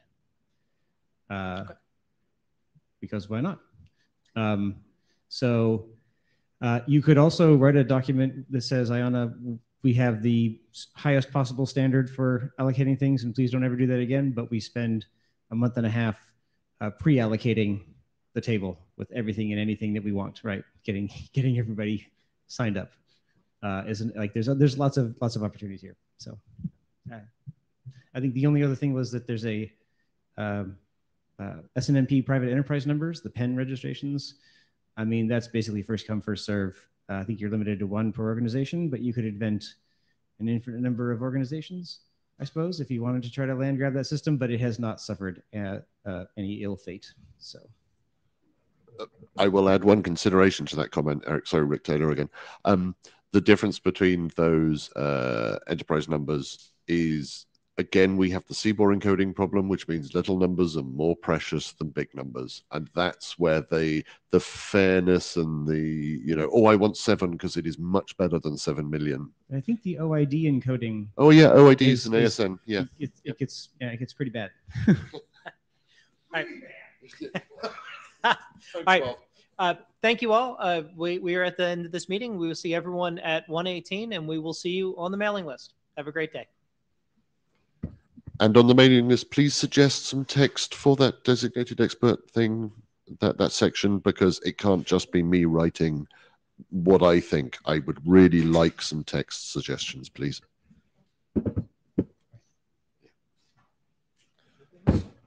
years ago, I needed to do some OID stuff for X509, and not how much it cost me.